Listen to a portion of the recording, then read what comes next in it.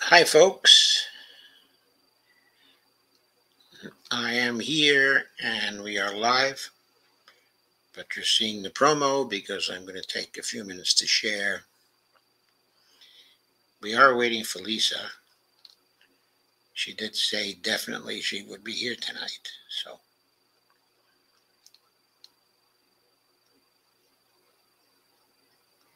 I guess she's just a bit late. So let me share.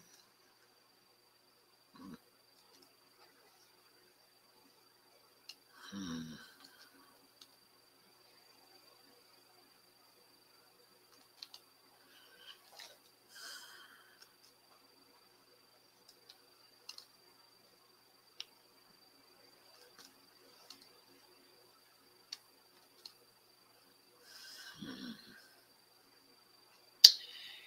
Okay.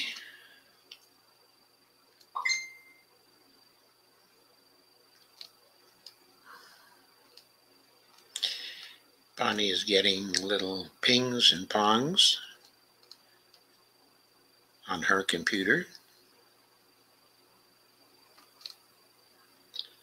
Seems like Steve Wolfbrand is here tonight. Haven't seen Steve for a long time. If you are here, Steve, welcome back.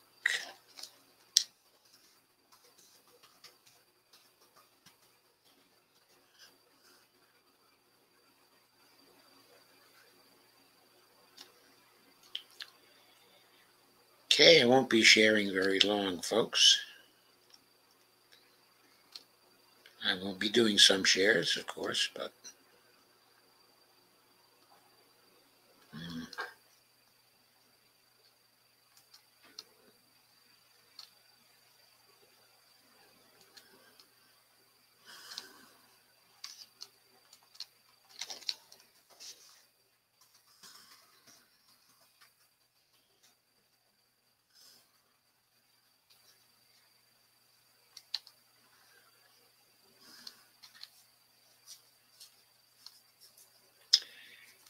Just one more now.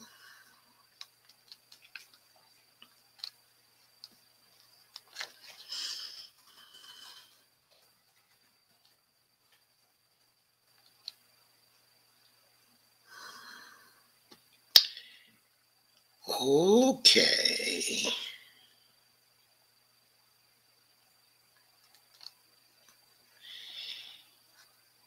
Here we are. Thank you all for coming. Let me take away the promo here before I forget. There I am.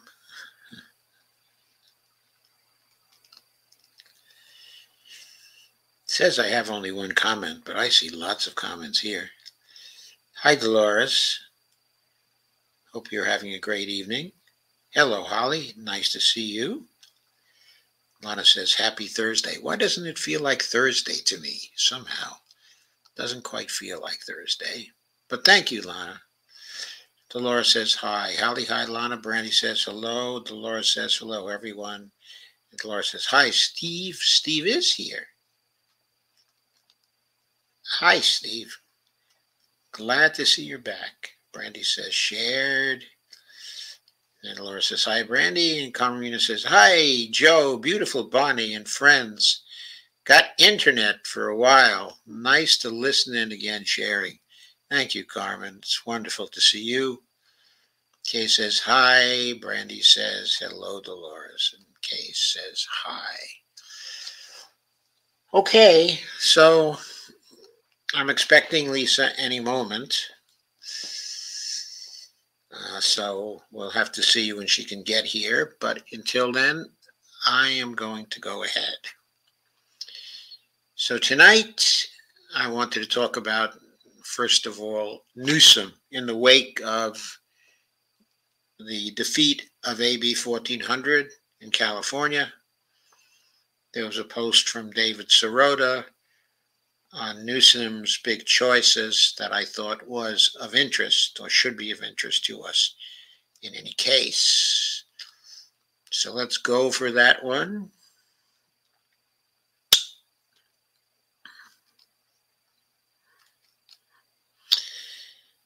Ah, this is not by David Sirota, actually. It's from the Daily Poster, but it's about it's from uh, Walker Bragman, as opposed to Dave Sirota. And here it is. In 2018, California's Democratic Governor Gavin Newsom famously, I should say, it doesn't say famously in the article, but famously signaled his support for a statewide single payer system. He said, quote, I'm tired of politicians saying they support single payer, but that it's too soon, too expensive, or someone else's problem, Newsom said in a statement helping secure him the crucial support of the state's powerful nurses union during a contentious gubernatorial primary. Now, as California lawmakers, by the way, I hear the ping, which means Lisa is with us. And so I'm going to bring her right in. Hello, Lisa. Hi, Joe. I uh, had to reboot my computer twice before I could get in. Sorry, I'm late. Oh, wow. Amazing. Okay, well, we're in the middle of the piece about Newsom's big choice. Mm. So I'm going to go back to that and go through some of the major points. Uh, this piece, by the way, was written by uh, Walker Bragman for the Daily Poster. Ooh, I know Walker. And he says, now as California lawmakers um, once again get close to establishing such a program, all eyes are on Newsom to see how he will come down on the issue and whether the millions he and his party receive from health insurance industry donors will convince him to abandon the cause he previously touted. Well, he never publicly abandoned it, but I'm pretty sure he's he was behind a lot of went on a lot of what went on in that particular legislature because I think okay that Anthony Brandon does uh, I'm sorry, Anthony. Is it Brandon? Oh, um, uh, Anthony Rendon, I think. Brandon, the speaker, right? Uh, the speaker. Okay, is it Brandon? Okay, or is it Rendon? I think it's Rendon. Yes, Rendon, Speaker of the House. Yep. I think that he owes a lot to Newsom's um, support and while he's very respectful of the donors as well, he also would do anything to stop a bill from getting onto Newsom's desk. So Newsom had to be responsible, be accountable for the promise that he made. Anyway, uh, a new bill would move to replace the state's private insurance market with a public system, which the government is a single payer for healthcare services. Due to the rules of the legislature, the bill must pass the state's full assembly by the end of the day on Monday. That, of course, was July 31st, or it's dead for another year. As a Democratic governor, Newsom has significant influence over what the Democratic uh, legislature sends to his desk but he has remained publicly aloof about the bill, implying he may block it as his industry donors mount um, an opposition campaign. That was some heavy opposition campaign, also. Quote Governor Newsom has no choice but to sign the bill and put it on the ballot, as he's promised he wants to, says Jamie Court, president of the Consumer and Taxpayer uh, Advocacy Group, Consumer Watchdog. Quote again, I don't think he can get out of that promise. Well, of course, he can get out of it if the whole Democratic uh, uh, Party protects him from having to come face to face with his promise, which is what happened, certainly in this instance. A long battle the current uh, legislation, AB 1400, would establish a new agency called CalCare that would pay for basic medical services in the state. If it passes, Californians would then vote on whether to approve a tax increase to fund the program, a vote that might not happen in 2024. So, boy, they had all kinds of outs, right? Even if they passed the legislation, it still wouldn't be funded until 2024. Of course, they buried it so they didn't even have to go that far. The legislation is opposed by a variety of business interests, including the California Chamber of Commerce, the National Federation of uh, uh, uh, Independent Business, and health insurers. Yep. I have not had the opportunity to review that plan, and no one and no one um, has presented it to me. Oh God, he's so full of it. He's such a liar. just so full of it. You mean to you tell know, me he and his aides haven't tried to tear that bill completely apart just in case it passed? I have not know, had the opportunity to review that plan. You know what?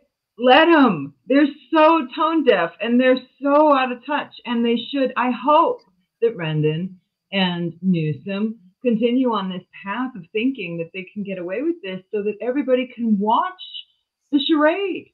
Because the more people that realize that this is what is going on, the more people are going to realize that we're going to dump these damned incumbents. You vote for the independents, you vote for the the Greens or whatever party floats your boat. But guys, we are getting screwed. We certainly are. We certainly and if you didn't watch my interview with um, Amar Shergill, I will pin it to my profile. Go watch it, share it. It's gotten almost 40,000 views last time I looked.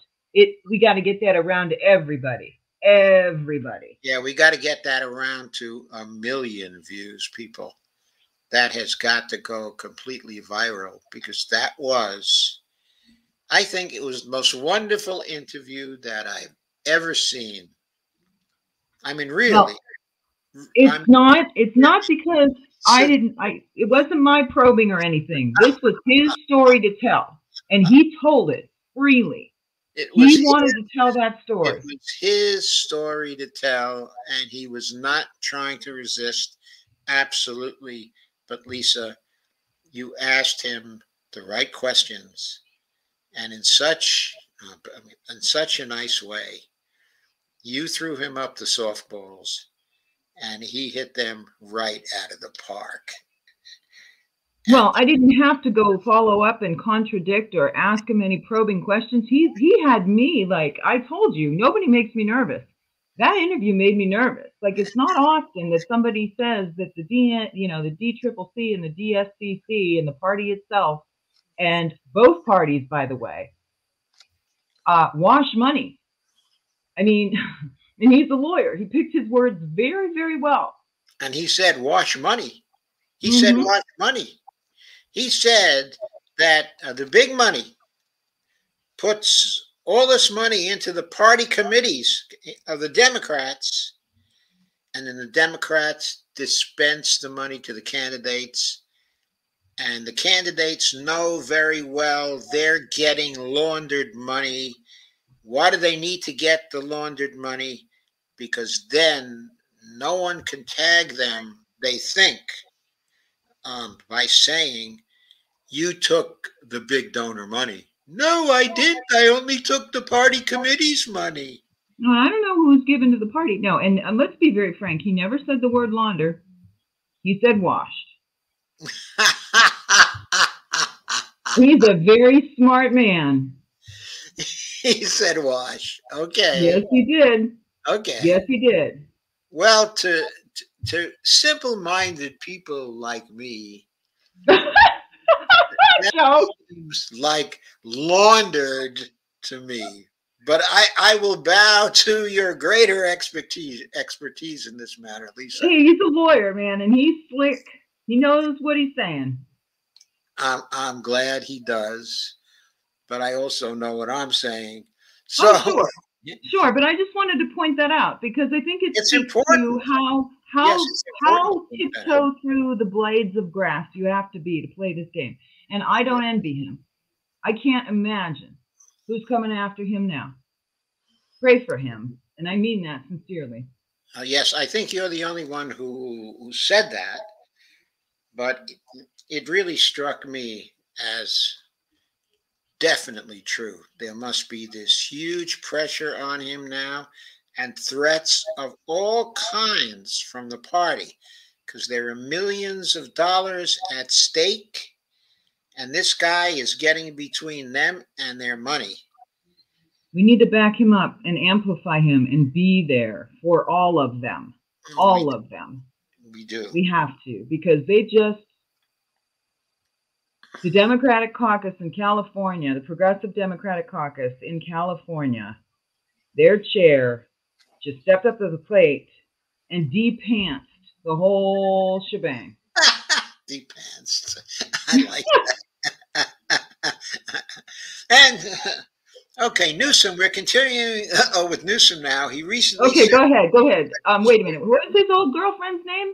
Man, Donald Trump Jr. is going to be going to be having to worry about her. She'll go back to Newsom. Go ahead. She'll go back to Newsom. She dated him first. Donald Trump. She dated him first. Sure. I think that the ideal system is a single payer system. Uh, so this is a quote from Newsom. I've been consistent with that for well over a decade.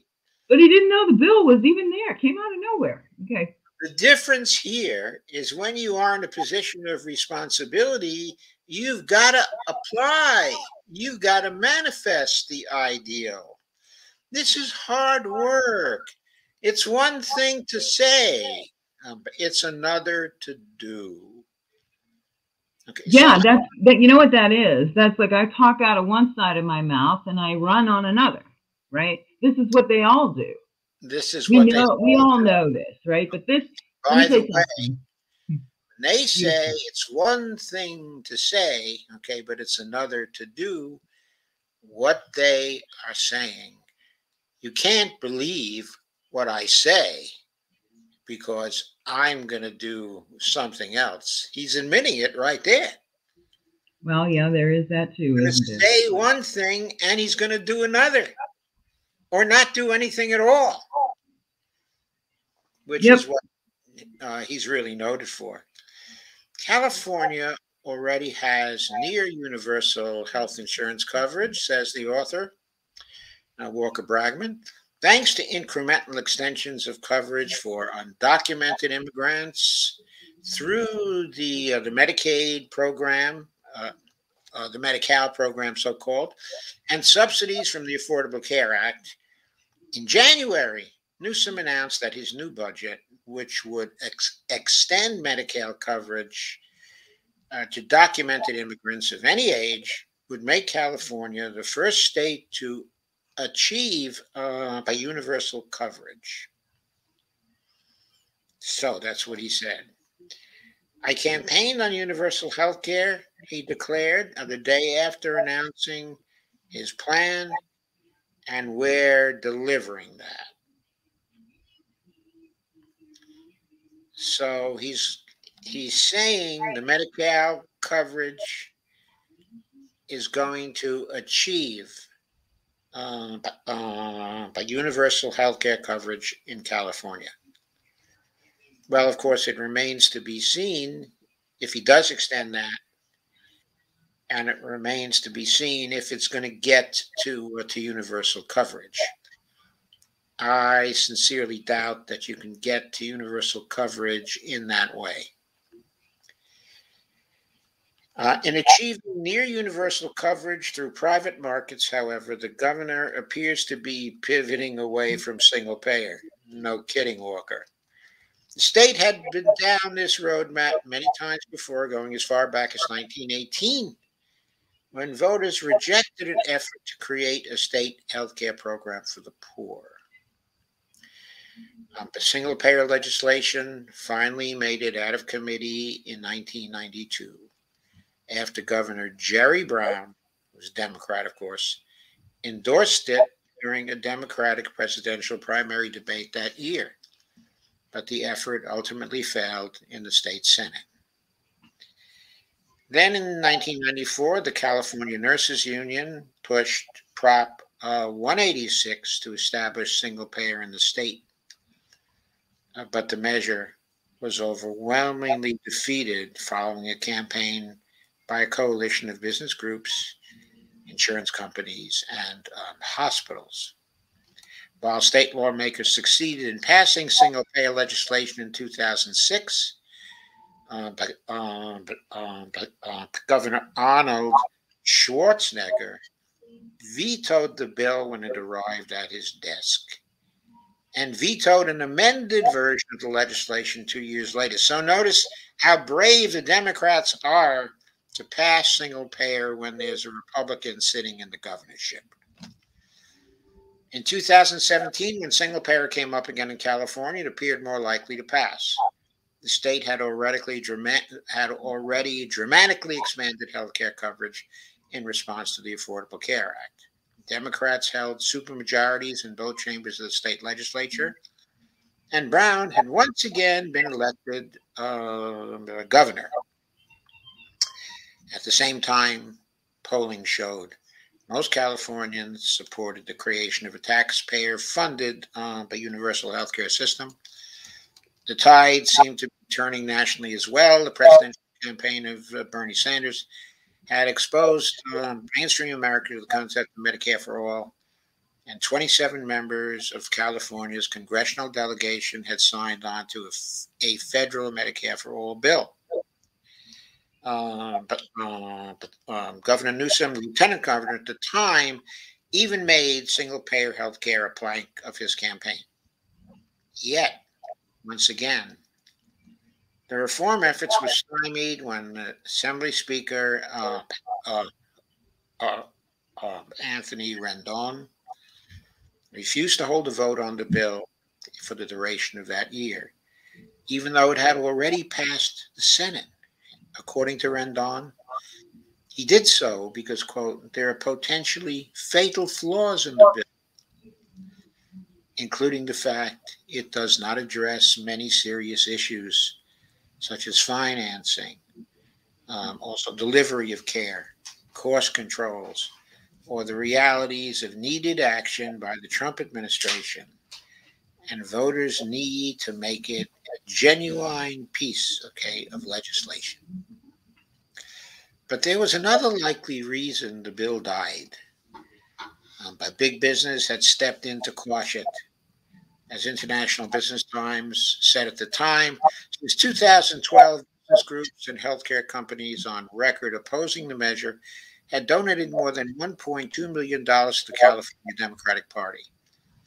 These same groups had also donated more than $1.5 million to Democratic Assembly members, including 82,000 directly to uh, uh, uh, Rendon.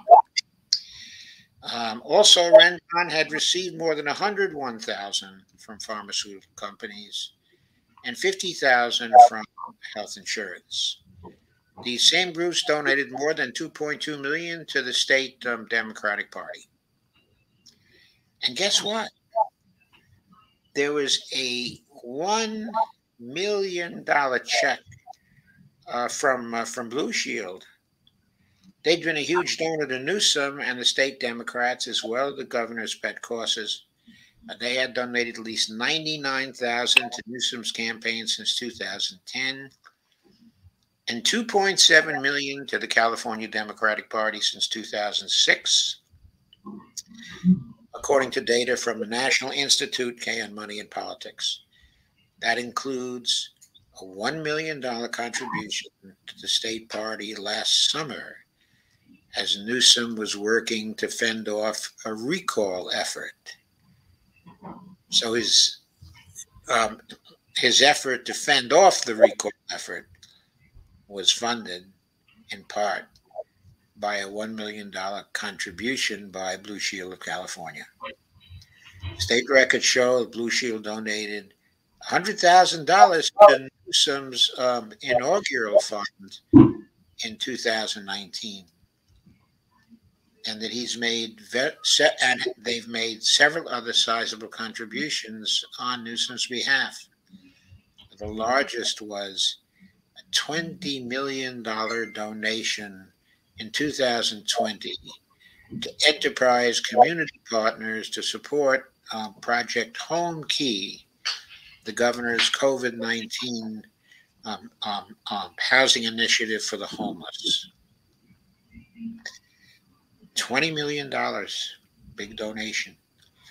In 2020, uh, Blue Shield gave 300,000 a nonprofit supporting the Commission on the Future of Work, which Newsom had created by an executive order.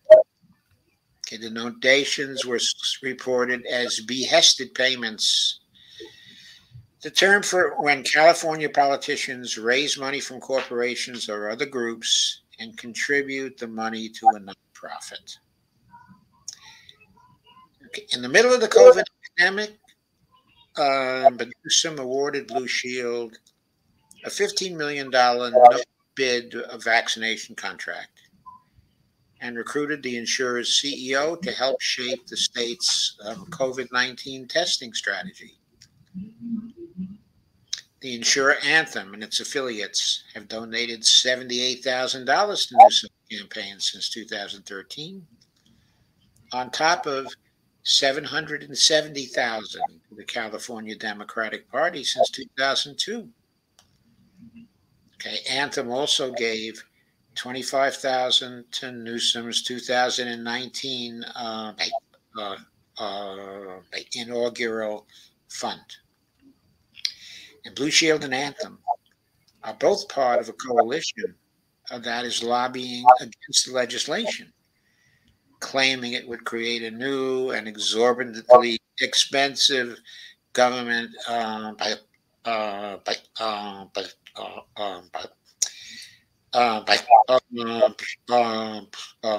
bureaucracy and cause, quote, significant job loss in California. And United Health Group, the nation's largest health insurer, is also opposing the single payer bill and has been pressing its employees to lobby California lawmakers against passing the legislation. So, what happened to Assembly Bill 1400 all this is part of what happened to it. The insurance giant has contributed 130,000 to Newsom's campaign since 2011, and five. That's what you can trace. yes, and we don't know how much of it was washed through the party. Yes, we don't know how much of it was washed through the party. Five, at 513,000 to the uh, state Democratic Party since 2007. So there was some washing there. In 2019, okay, the United Health Group and one of its subsidiaries donated um, donated 100,000 to Newsom's uh, uh, uh inaugural fund. Now, whether Newsom's relationship with Blue Shield, Anthem, and United Health will impact his decision making on CalCare is an open question. No, it's not. Court at Consumer Watchdog. That's really funny. And court says, quote, I've seen him do it and I've seen him not do it. Let's put it that way. He said of the governor's ability to stand up to donors. Quote, I've seen him go, uh, go against the unions that represent oil companies by putting a limit on setbacks and banning uh, uh, fracking. I don't know. For some issues, like single payer, I've got to believe that he's um, ideological there, unquote. Boy, that is a ridiculous. Boy, is that a twisted pretzel of a presentation or what? Is, isn't that something? This guy at Consumer Watchdog, guess his name is Jamie Court at Consumer Watchdog. Yeah, sounds like a commerce guy. Go ahead. He, he is a dreamer. A dreamer. No, that you're You think he's a dreamer? no, I, I think, think, he's a spin doctor. No, he's I think spin doctor.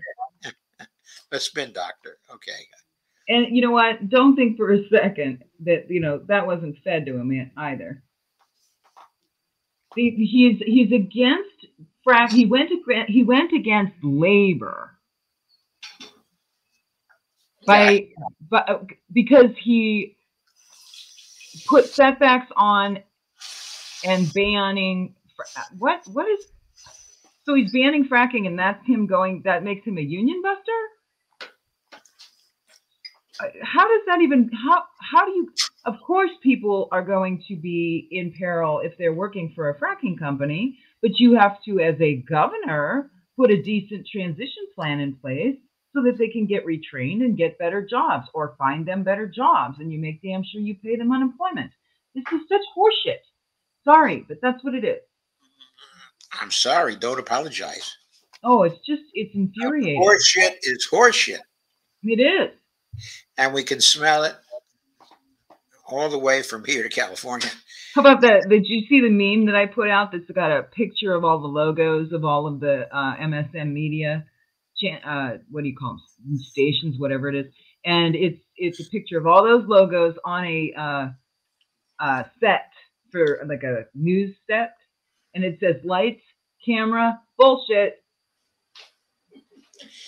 Uh, okay, it would be nice if you could put this uh, um, but, um, in the stream at this point. Oh, how I don't know how I don't think I can do that, Joe. I don't know Uh, how to do that. Um, I think if you put it, um, um, if you have it on your computer, Well, I can get it there.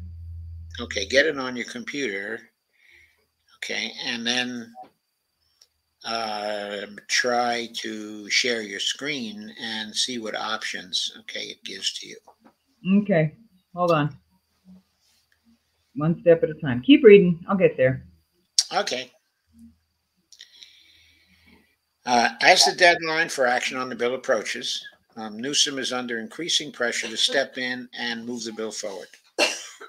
The Sacramento Bee, the Sacramento Bee editorial board published an editorial on January 21st, urging the governor to defy his industry allies and back uh, the uh, the legislation.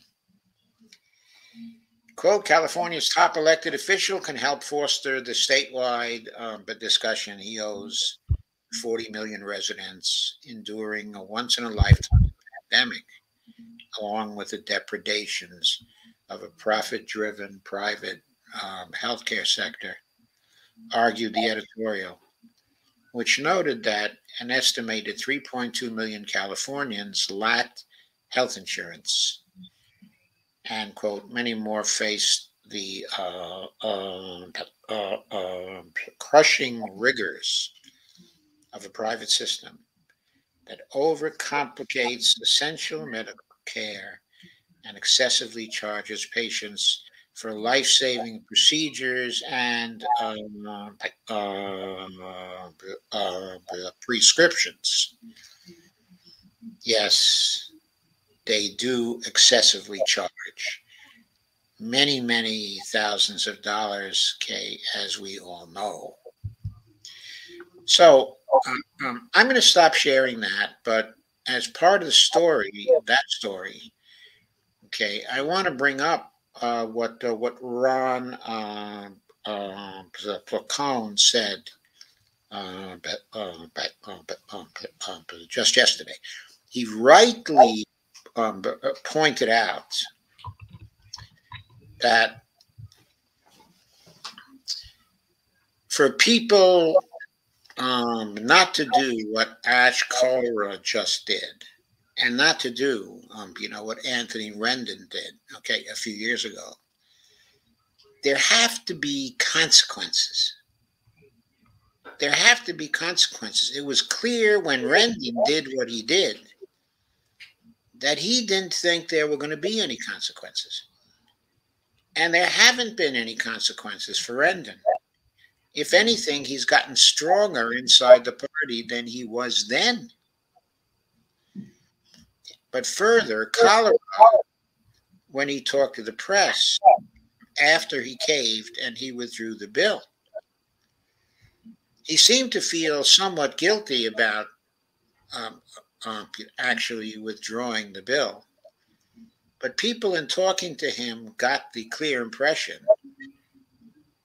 okay, and Ron Placone, in a Zoom call he was on, got the uh, the clear impression that even though he felt a little guilty about what he did and at some level was sorry for what he did, he also was quite clear about the idea that there would be no consequences for what he did. And Yeah. Rob pointed out that if we want to stop this kind of thing, there must be consequences. So, how do we develop those consequences? That is our problem, okay, as the voters want things and who are not getting those things. So, Lisa, Yes, sir. Um, so what do you say to that, to the idea of consequences? Oh, I think that we first of all have to educate everybody on what is actually going on. And then the consequences are exactly what Amar, the chair of the Democratic caucus, um, Progressive Dems in California, what he said, which is they're going to force them, they're not going to rubber stamp their endorsements, okay? In order to get party money as they can, you know, to get the party endorsement, you have to get and then get the money, you have to be endorsed, which means you have to get the votes. Okay. And what Amar has said is that they've already got a ground game going on. They're not going to auto endorse these these uh, candidates, and they're going to force them to the convention to have to have the vote at the convention. So at the convention, right? Um, when you take something to a convention, you the delegates then are able to battle it out. And you can you know at that point there there are concessions that could be made. I mean this is the same thing that bernie did when in 2016 where he can he, he said we're on to the convention right? That's pretty much what omar said. He, or omar i'm sorry. Omar omar omar that's how he says his name omar he pretty much said we're going to the convention okay so then there was a, uh, a a thread that he did that the party is withholding from the uh, caucus, or I think it's the caucus, withholding from the progressive Dems. It must be the caucus. Uh, the voting file, which is such horse manure. Like I don't even know what that means specifically. Does that mean that they're not giving the voting files to all of the progressive Dems in the party? I don't know. But in order to reach out to voters, to be able to communicate with the voters, um, that's key, right? That's how you, those are your demographics, those are your super voters, those are who, who are registered Democrat, who are registered Republican, block by block. That's what those voter files are. That's how you contact people. Um, and so there's some shenanigans going on there. However, he said that they started working on this in December. So I'm not, you know, that would be another, I would have to have him back to talk about that. Uh, he did a Zoom call, uh, not last night, but the night before, with uh, Ash and it, the activists. And it was it was a little candid from the snippets that I had seen. People were really, really angry and they went at him. And Amar said that Ash has always been considered an ally. It was his bill. I almost called you Bernie, Joe. It was his bill, Joe.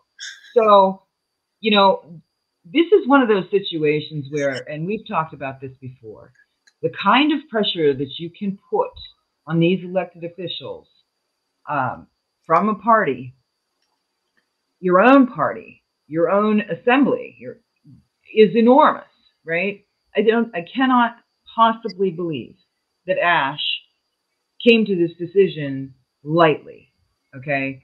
But he did say that it was a gamble and he felt that it was, and it, this was pretty damning. He said, We felt that it was easier to um, regain the trust of the activists or, you know, reinvigorate the activists rather than uh, put the Demo- force the Democrats to vote against their own constituents, which is such a lousy, and the even the way he said it, it was like, you know, you say things with conviction or you say things because there's really nothing else you could say without blatantly lying. Okay, so you know, I'm not making excuses for these people. I'm also not stupid.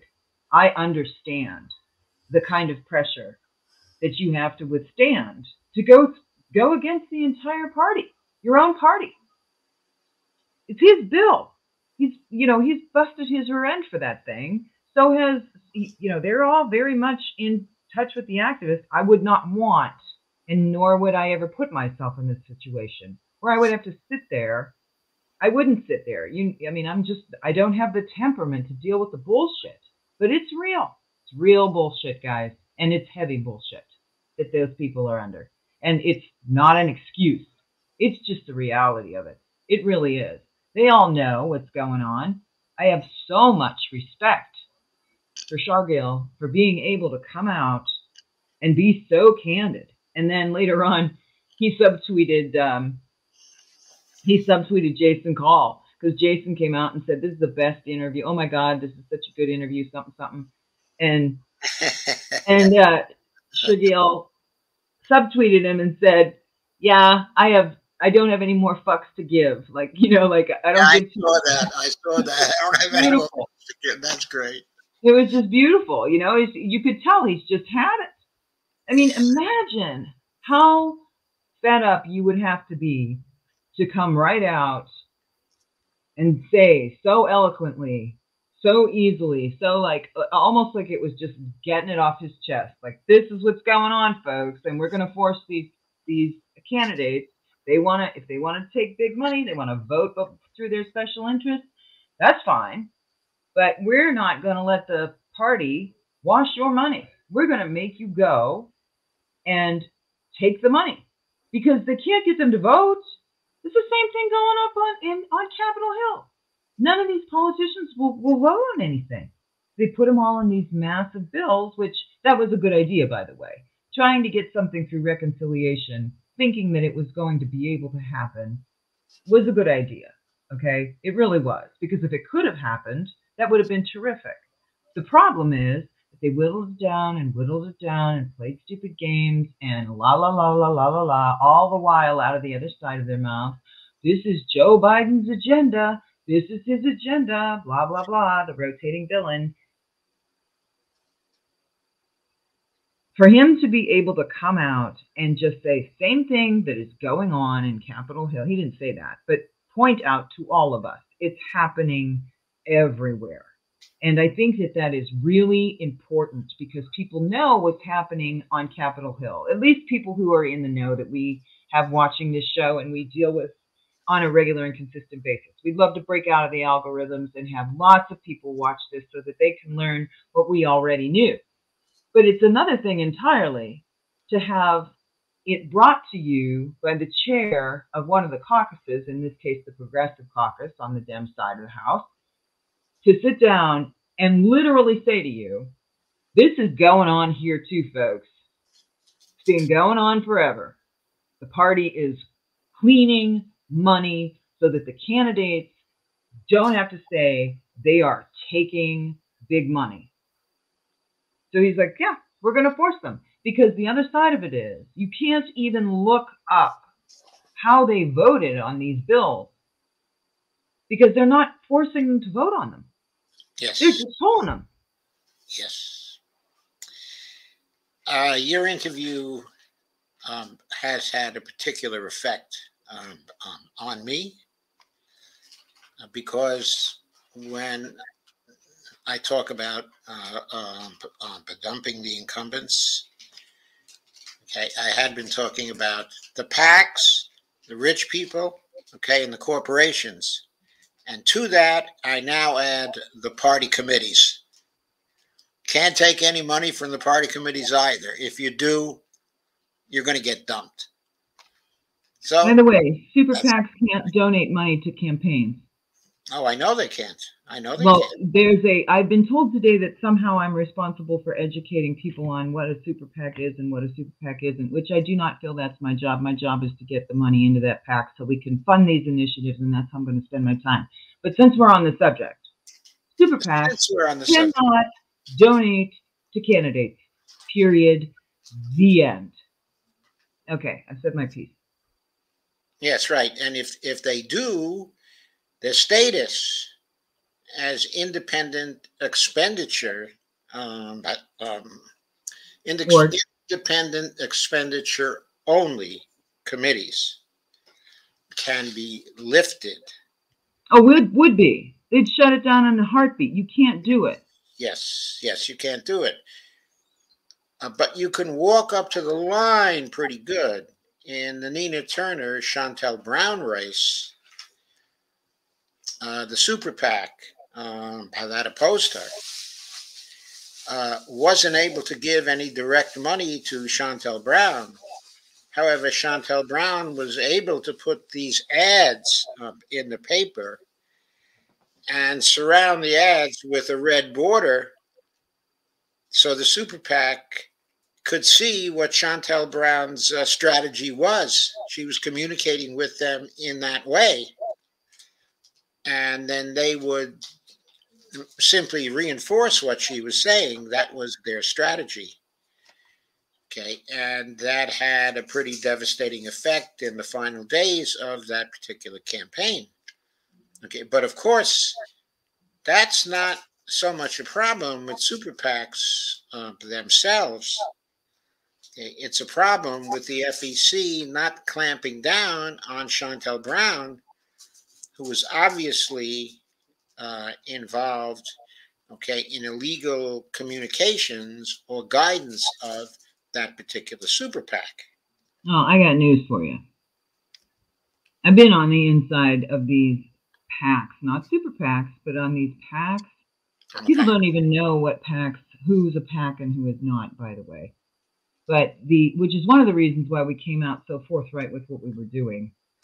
Uh, for anyone who, you know, thinks that whatever we're doing is so uh, absolutely heinous. Um, transparency is what we were doing. Anyhow, um, these so-called PACs that nobody knows are PACs because they don't tell you they're PACs. Uh, you know, they're not supposed to coordinate with candidates. They're not supposed to work with candidates. They're not supposed to ever contact candidates. they do. They absolutely do and there's no one pulling their tax status and auditing how they're how they're communicating or going about anything because both parties are in on uh, the game mm-hmm. and the FEC is in on the game and they won't enforce the law i mean the law well it's it's deregulation right where they're not they're not going after this stuff and there's they're not because basically what that means is they're not enforcing the laws you don't have to overturn a law to have deregulation, folks. You just gut the internal. You put a secretary on top of the regulatory agency and nothing happens. Right. And uh, the neoliberals have been doing that now for 40 years. Mm-hmm. And that's one reason why the country is in such a mess. Yep. They're not enforcing uh, the laws. Okay, so let's go on to the next piece. Wait, did I answer your question? What was the question? The pressure. How do you apply the pressure?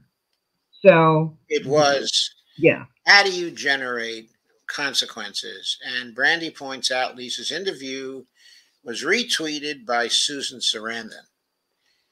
Uh, yes. so cool. I that. love. It. She does that once in a while. She'll come around the red berets. She's usually she never retweeted anything of mine before, but she grabs Laura once in a while. Yeah, but once she retweeted that, all of a sudden there were lots more views, and you could see it happening. You know, oh, this minute there was 1900. Two minutes from then there was 2100. Two minutes from them it was 2500 and so on, just up and up and up and up, following her retweet. Pretty, it's pretty. And you know what? Oh, are they mad at her because she retweeted from my timeline? So I'm seeing all of the like, all the shitlibs losing their minds, right? And they lose their minds on her anyway. But then they watch that and they're just like their heads are exploding. It's so it's so fun. I mean, I really needed that. I really needed to smile today. It was just like, oh my gosh, look at look at you people. Look at how bad this is. it's really it's something. It is something. It is something. So the next piece I think is interesting too. It's not a long piece. It's a brief piece from the Peterson Foundation. The Peterson Foundation notes. Oh, here it's in. Good. Not always in when it's supposed to be in. This is on January 28, 2022. Healthcare spending reaches a record high. The COVID 19 pandemic temporarily drove healthcare spending to a record high in 2020. I'll bet it's also been high in 2021, according to official estimates from the Centers for Medicare and Medicaid Services, CMS.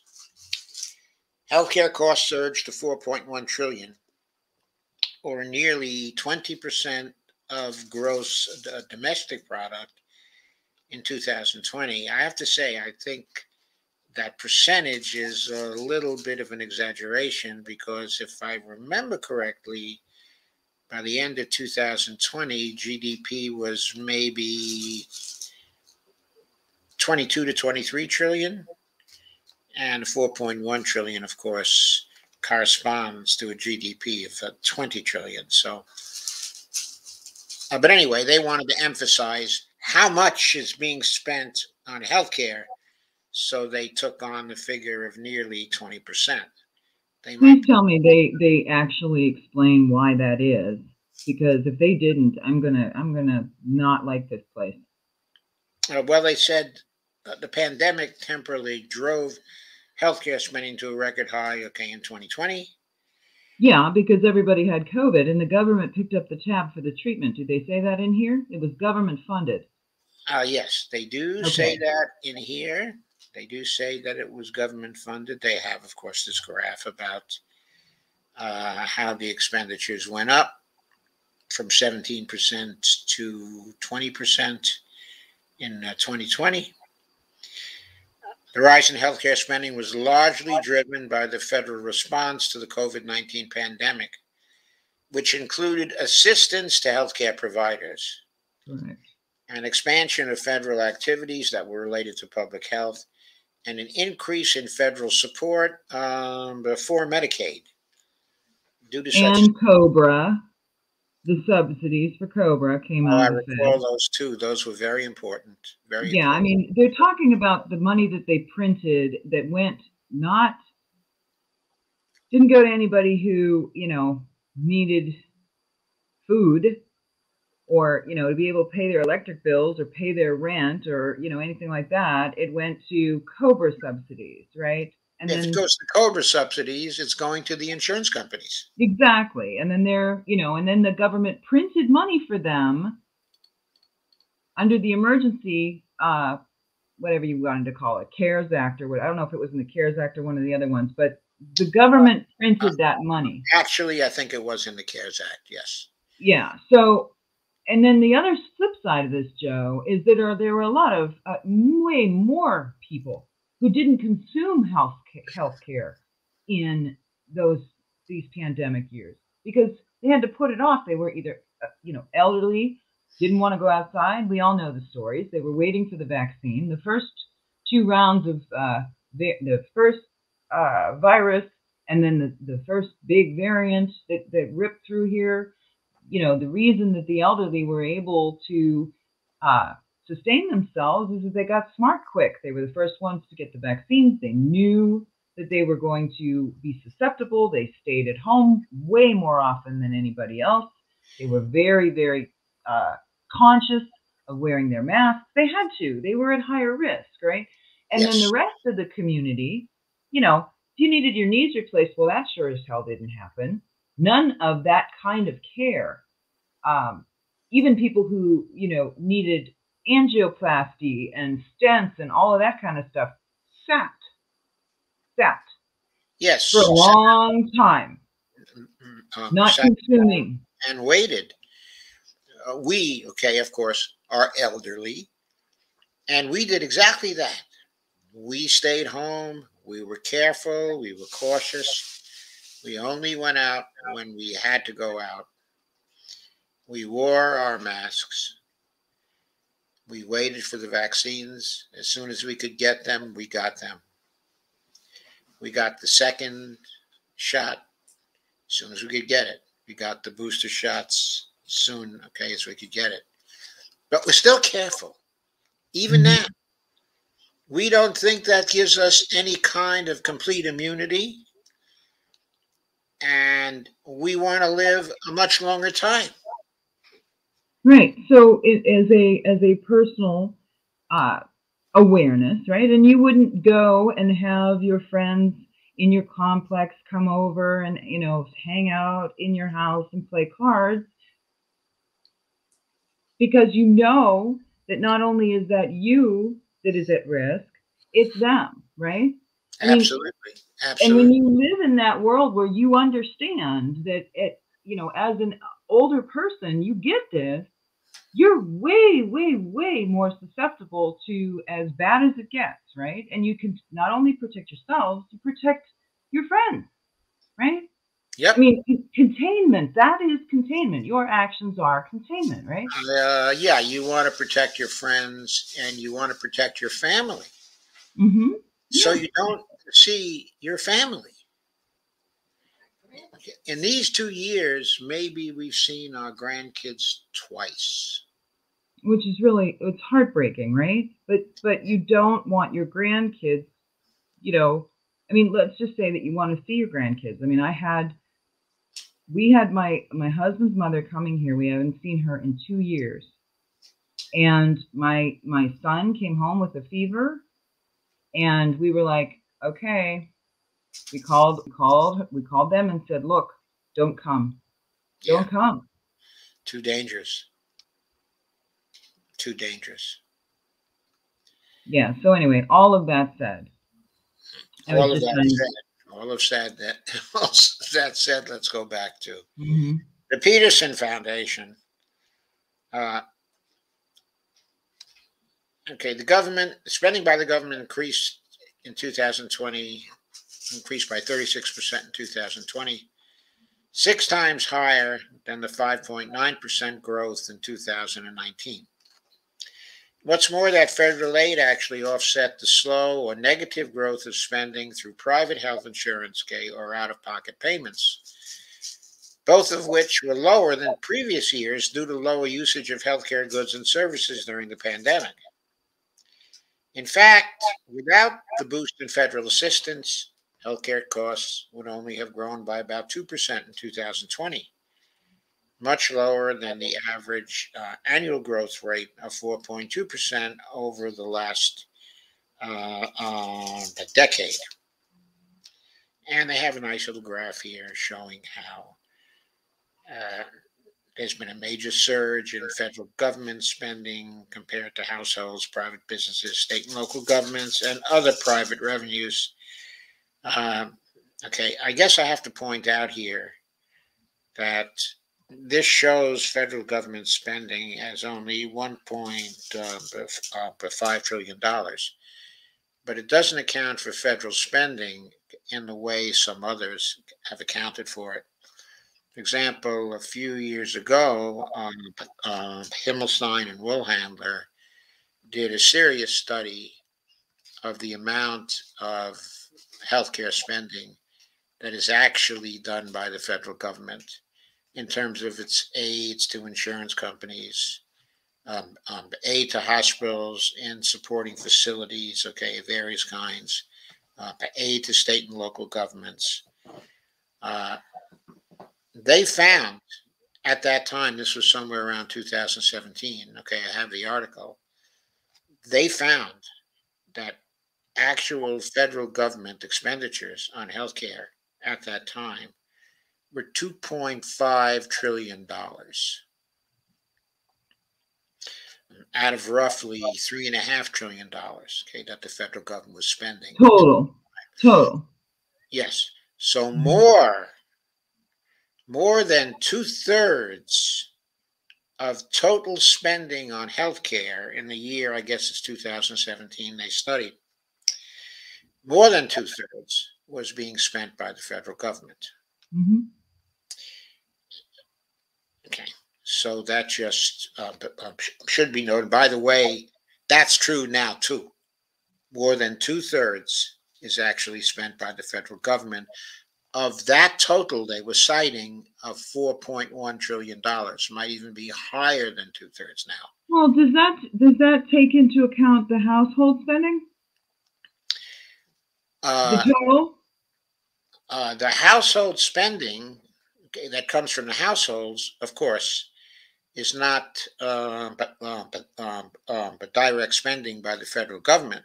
No, now, no, no. But that household figure, that spending, that household figure spending here, is that like premiums, or is that does that include the surprise bills? Like, what is they? How could they possibly aggregate? Okay, I think everything. This, okay, I don't know what the Peterson Foundation actually did. Okay, to do that, there are different ways that healthcare spending, okay, is categorized, okay, and classified by CMS. The source here was actually CMS, but the way they aggregated um, into these categories is much different, okay, from the way that the spending was aggregated by uh, the study, okay, of Himmelstein, okay, and Woolhandler. They were using CMS as their primary source too.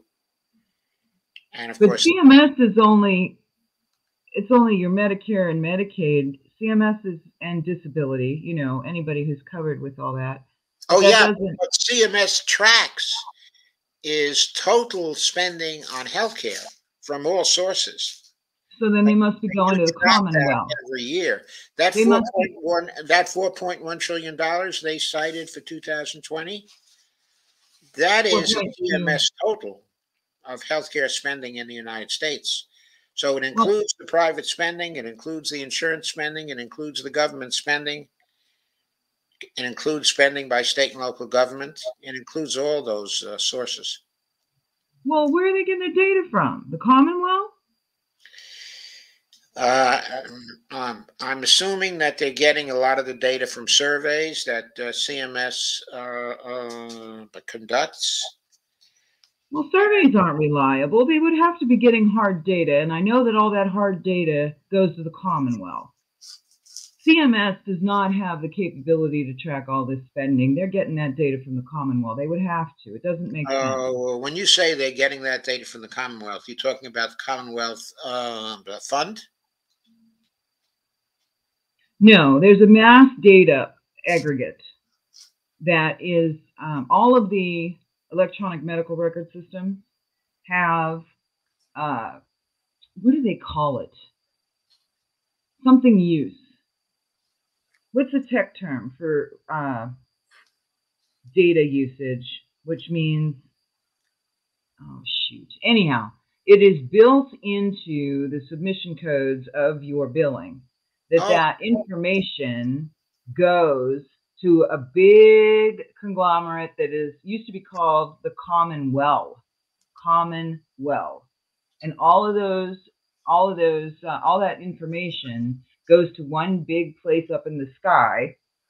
And I never quite understood who owned it. I asked the question at the uh, conference, and, and you could hear a pin drop in the room. Anyway, um, the uh, that's all there. Okay. They, it is aggregated somewhere. I can't, I tried to get them to explain to me who owned it. Nobody wanted to say. And finally, I just said, okay, does the government own it? Who owns it? Right. So there is a data aggregate. It's like everybody's data goes into one big hole. Okay. Nobody seems to want to talk about who owns that or, you know, how that, how that is used, but they do aggregate it. But I can't, this CMS doesn't aggregate all this data, so they must be getting it from somewhere. But anyhow, because surveys aren't reliable, Joe, they're just not. I throw them away. Okay, well, of course, I think it depends on the survey and the size of the sample, Mm-mm, all kinds nope. of different things on surveys. In other words, um, but surveys done by the Census Bureau are pretty good. Yeah, but anyway, I, I'm I'm having a hard time with CMS. I mean, in order for them to aggregate all of this data, uh, people would have what you're know. having a hard time with uh, with CMS about, I guess, is knowing what the actual source of the CMS data is, right? Correct. I want to know what it is. Okay, so let's go find that out. Okay, the two of us. Okay, let's go do the best we can to find out. Not now, right? We'll do it and come back later. Yeah, not right now, okay, in the middle of the live stream, no. But it's, Okay. it's something that we both ought to look into.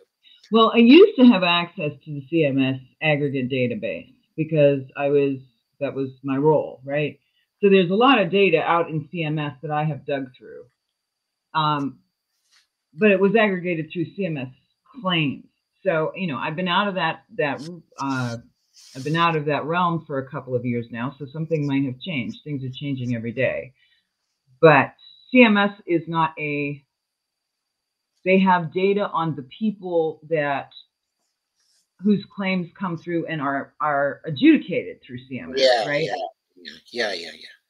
But uh, they're not going to have they themselves are not at least they didn't a couple of years ago didn't have aggregated data hard data not survey data which is extrapolation and population and i can get into that all that's all crap. Hard data is what i would hope they are using to say that they're spending this kind of money this you know i mean 4.2 trillion dollars okay? There's a lot of play in that number. It's huge.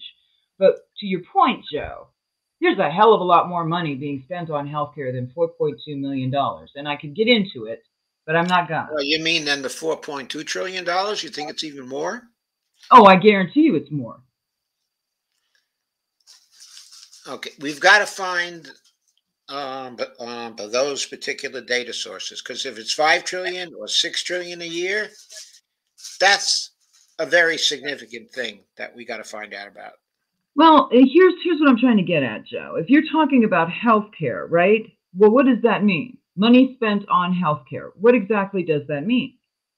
Does that mean the the claims that are coming through billing from providers and getting processed, or does that mean everything that goes into running healthcare in this country?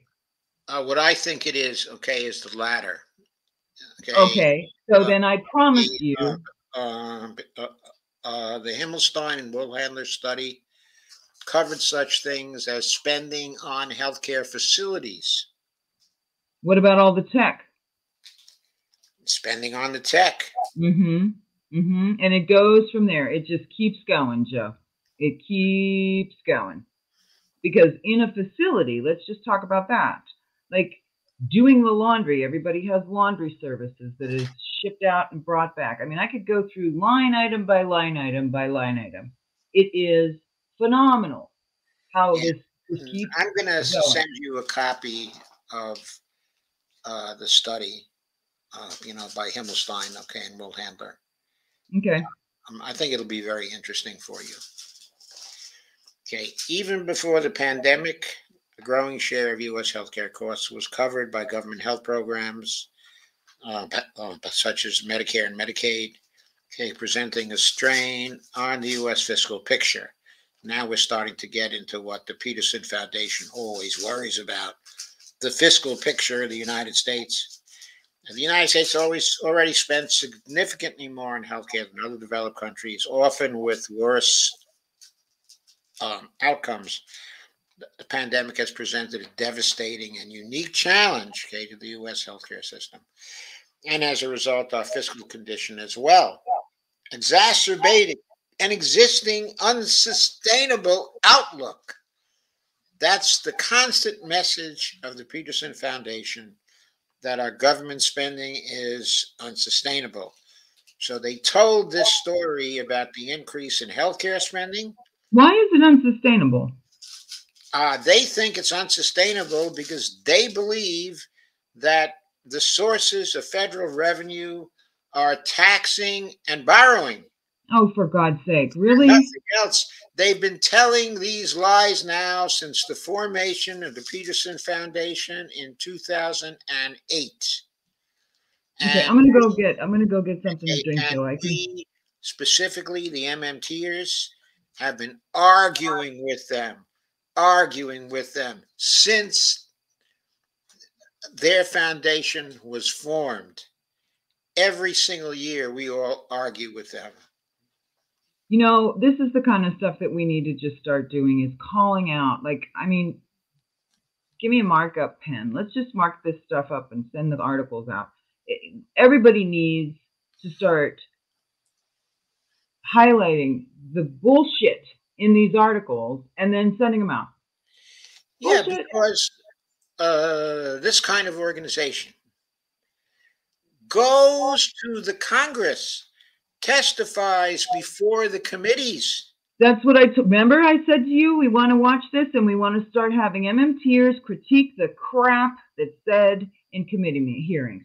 Yes, well, um, um, as I said, we have been doing that um, in committee meetings for some time, and we have been fighting the Peterson Foundation for some time, calling them out. I'm talking some... about our media. We as independent media, and it would be great if we could get one of the big MMTers every time there's a big hearing where people are testifying to like do a retort or calling out all this crap. Somebody that everybody would watch. Because if we started doing that, even if we did that for maybe, I don't know, a month, or anytime a big committee meeting was coming up, it would get attention. It would get attention. People would listen. We have to make that proposal to uh, the MMTers. Okay, specifically yes. the ones who have names that people mm-hmm. are now starting uh, to uh, to recognize. Mm-hmm. There are mm-hmm. probably mm-hmm. only three or four such people, uh, but even now, uh, um, you know, an MMT is starting to hit uh, uh, the mainstream. But but you know, someone like a Bill Mitchell, who is famous, mm-hmm. um, you know, in MMT circles as one of the fathers, you know, of MMT and he's one of the co-authors of the major textbook. He was actually the senior author, uh, you know, the major textbook. Yeah. The only textbook, actually. He's largely unknown to the public. Largely unknown. No, you know, it's it takes. I think here's what I'm going to say. Let's just say, in a perfect world, Bill Mitchell would want to do this. Um, you know, when you pick and choose, the little hearings that don't get a lot of attention, you know, they happen all the time. But the big ones, the big ones where you get these people who get up and start pontificating about how your tax dollars and blah, blah, blah, la, la, la, la. And they get, you know, 200,000 views. Those are the ones. Like we could get them, you know, MMT committee, uh, you know, the MMT rebuttal to the, you know, whatever it is committee hearing on blah, blah, blah. That would be really good because nobody's doing that. Not on a public facing, big public facing retort. We do it, we do it here. We have our little, you know, we're going to talk about this. Come watch us do this. We've got to get real. Got to get loud and we've got to get real. Well, we got to figure out how to get them loud, okay, and real. They can get real. That no, I mean we got to start. We got to take the fight. Really, them. Only MMT who has a very loud voice right now is Steph. Yeah, but I don't see. I don't know. She does. I mean, she's got this. Let's put it this way: she's got the spotlight. Okay, people know her. She's she's out there, but when it comes to combating, uh, what, was the guy? What was the guy who came out and did the ridiculous uh, takedown of Build Back Better? He's a Republican. He's in the House. I want to say Roy or Croy. Do you have any idea what I'm talking about? He got up and he made all the all the stupid lies, or either that or he's just a damned idiot about how the economy works and how, you know, oh, we don't have money for this and this is going to balloon the debt. And yeah, oh, it was just all the usual crap, right? All the usual crap, yes. So when you've got somebody that, that, you know, I don't know, verbose and gross with their rhetoric, right? It would be really cool to have somebody like mild mannered Warren to, you know, rebut it. Or L. Randall Wray seems really, really cool when he, you know, very intelligently kind of makes fun of people retorting things, right? I mean, that would be really cool. He can do a great job. He, Huh? can do a great, he can do a great job. And Stephanie can too. It's just that, you know, it depends on the person doing the presentation as to, you know, there's just better personalities to do retorts, right? And if they would all be willing to start doing that instead of everybody on mainstream TV, uh, you know, lights, camera bullshit, start talking about, oh, we can't afford this, you know? Okay, Well, from I the mean, standpoint of you know of making a retort and making it a cutting retort and making it uh, sharp, okay, and very pointed. The best person for that in the MMT group, anyway, okay, is Randy. well, I kind of agree with you, but I mean, it's not, doesn't mean that they can't all do it. Uh, right, but okay, in Warren's case, uh, uh, okay, it seems to me he's very good. I mean, I love his work. I do too. I first learned uh, um, um, um, you know, my MMT Oh, he's got. Excuse me. Hold on a second, Joe. I got to put you on mute.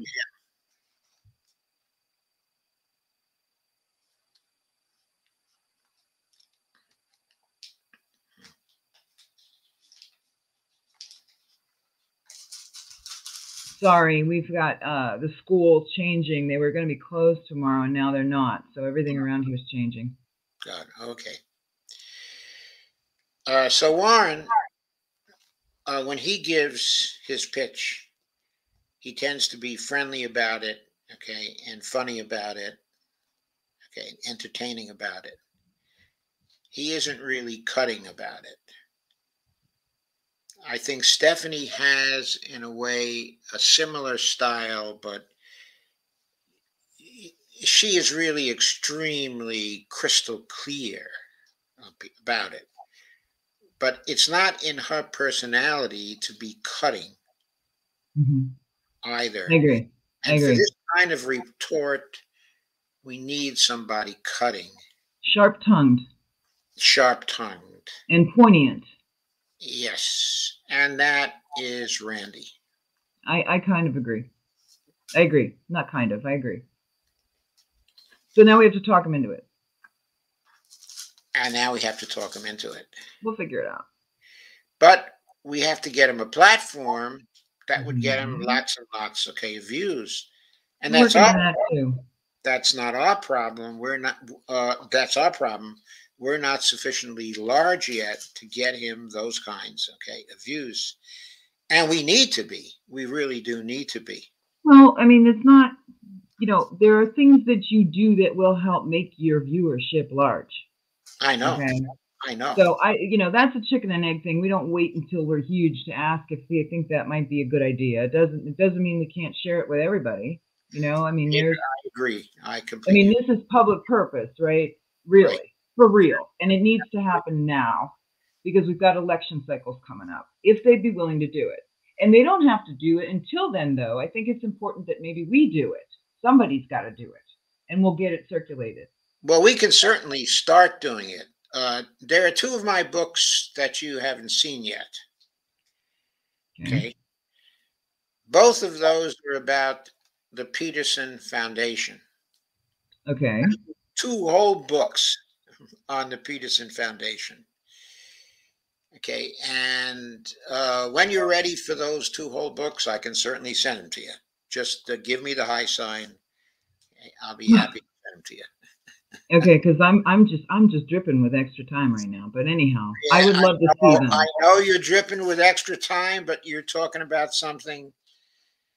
Uh, no, with- I'm Joe. I'm very very used to reading for content. I know how to get the gems of what I'm looking for out of stuff at this point. I've been doing it for so long with with, you know that's what you do when you're in when you're you know compliance and regulations and all of that. And I I I personally love to read books in their entirety. You know, I'm one of those people that highlights and puts sticky notes on books. I'm just I love to read that way. Um, I don't have that luxury right now, and I don't see my life going in a place where I'm going to have that kind of time. So please send them because I will use them and use them and use them because this Oh. is about healthcare. So it's perfect. Okay, I will. I will certainly send those books. They're not about healthcare per se. No, What but this is the role of the Peterson um, um, um, Foundation within um, our political system, which is actually dramatically large, and their role in spreading the propaganda that we are going broke or we Yeah. can go broke, that we So that can be unsustainable. So I wrote those two books on that stuff actually related to the Peterson uh, Foundation specifically. how long how long ago did you write them? I wrote those books in 2016, actually. Okay, that's really not that long ago, Joe. No, it isn't that long ago. No, in fact, okay. um, I was writing then. When I have some time and I sit down to write, I write real, real fast. I wrote six books in seven months Look at you. At that point. That's something I can do. Of course, I don't know if I can still do it. I did it back in 2016. It's 2022 now. I'm a little older. And you seem like you've got your you're, you're pretty sharp there, Joe. I, I my money's on you. Thank you, Lisa. Okay, so uh, the Peterson Foundation is all about um, leading into the unsustainability. And while here they have this little article on healthcare, when you look uh, on the side, you see a number of links to various things, like the CBO's budget outlook shows pandemic's acceleration of U.S. fiscal challenges. Can't we flag that for misinformation? Like Uh, anytime anytime you see the CBO, you can we flag it? like they flag everything else. uh, yes, I'm the being CBO sarcastic. provides misinformation. They provide fake news because the assumption of the assumptions they make, which are false assumptions, You know, Joe, and in love with the Peterson Foundation. is it because the One's on the inside. is it because of their indoctrination into the into the neoclassical economic lens, Uh, the uh, the neoliberal economic lens. whatever it is? Peter G. Peterson Bullshit. was the instrumental person in spreading the neoliberal doctrines uh, from, I don't know, 1970 until he died. I mean, he was there at the beginning. He was doing it um, constantly uh, uh, inside of New York circles and DC circles. And he indoctrinated those circles with the idea, okay, of unsustainability. And when he made a killing uh, in the market in the early 2000s and acquired a fortune of 5 point, uh, uh, uh, uh, $5.5 billion, he devoted $1 trillion of it to setting up this Peter G. Peterson Foundation. He made five trillion dollars in the market. $5.5 trillion, yes, okay, in the market. What did Uh, he do? Over always what period of time? rich. Uh, well, it was mostly just a few years in the early 2000s, as you know, as part of the boom. Um, he was always a rich man, but he got to be a billionaire in the period 2000 to 2000, okay, and eight, I guess, just those eight years. He made So- like uh, you know five point uh, uh, uh, five billion dollars with I forget whether it was BlackRock or Blackstone. Uh, you know, it was It had to be. Had to be. Yeah. uh, yeah. something like that. But then he took a trillion of it and he sunk it into this uh, foundation, which his son, okay, is running now because he died a couple of years ago. But, what I'm you know, trying to get at, though, Joe, is do they actually know that what they're saying is crap? They've got to know it. They, yeah, they've got to know it. There's a lot of people, Joe, that just don't. They but just don't. They've got to know it because Mosler was talking to one of the central figures um, in their network as early as 2003. The guy was the controller of the currency, okay, at that time. And Warren went to talk to him, and, you know, he outlined MMT to the guy. So the guy was aware of MMT back then. And, uh, you know, he must have run to Peterson and his group, uh, um, you know, to tell them about it. So at some level, they've been aware of it for a very long time. Now, in 2010, they had their big fiscal summits, and they were in league, okay, with the uh, uh, the administration then, uh, the mm-hmm. Obama administration. He got money from uh, the Peterson uh, uh, um, Foundation to fund the fiscal commission the government ran, okay, at that time. Okay, there was no. This, is just, this is just overt oppression and austerity, then, because that's the well, that's what this yields. The neoliberal economic, uh, you know, spin yields austerity. Yeah, one of the authors of the Washington Consensus, one of the main figures in creating the Washington um, Consensus, that spread over the whole world and has been enormous trouble for the developing countries was Peter G. Peterson. Uh, the first report that stated explicitly the Washington Consensus came out of the foundation that Peter G. Peterson was the head of at that time. He was there at the start. He was there at the height, okay, of the neoliberal spread all over the world. Yeah. Um, he's an evil guy. In some ways, he knew what he was doing. Was. They're all just making money on cheap, desperate labor. Yep.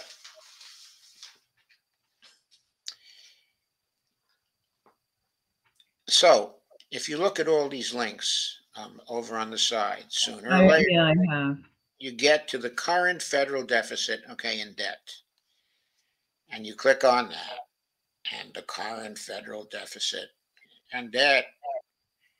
Every month, the U.S. Treasury releases data on the federal budget, the monthly data. The federal government ran a budget deficit the first three months of fiscal year 2022 Look at the size of those deficits. Now, I don't know what they're saying now because Mike Norman says that so far in 2022, not in fiscal year 2022, but in calendar year 2022, which is the second quarter of fiscal 2022, uh, the government has been running a surplus. And Mike Oh, Norman, wow. Can, can you feel Mike that surplus? Norman is worried about that uh, surplus because he knows that a surplus, uh, he knows that when the government actually runs a surplus, that surplus is money taken out of the non government um, economy. Right. He knows that. Okay. And they big surpluses now, the Biden administration, for January, February, and March.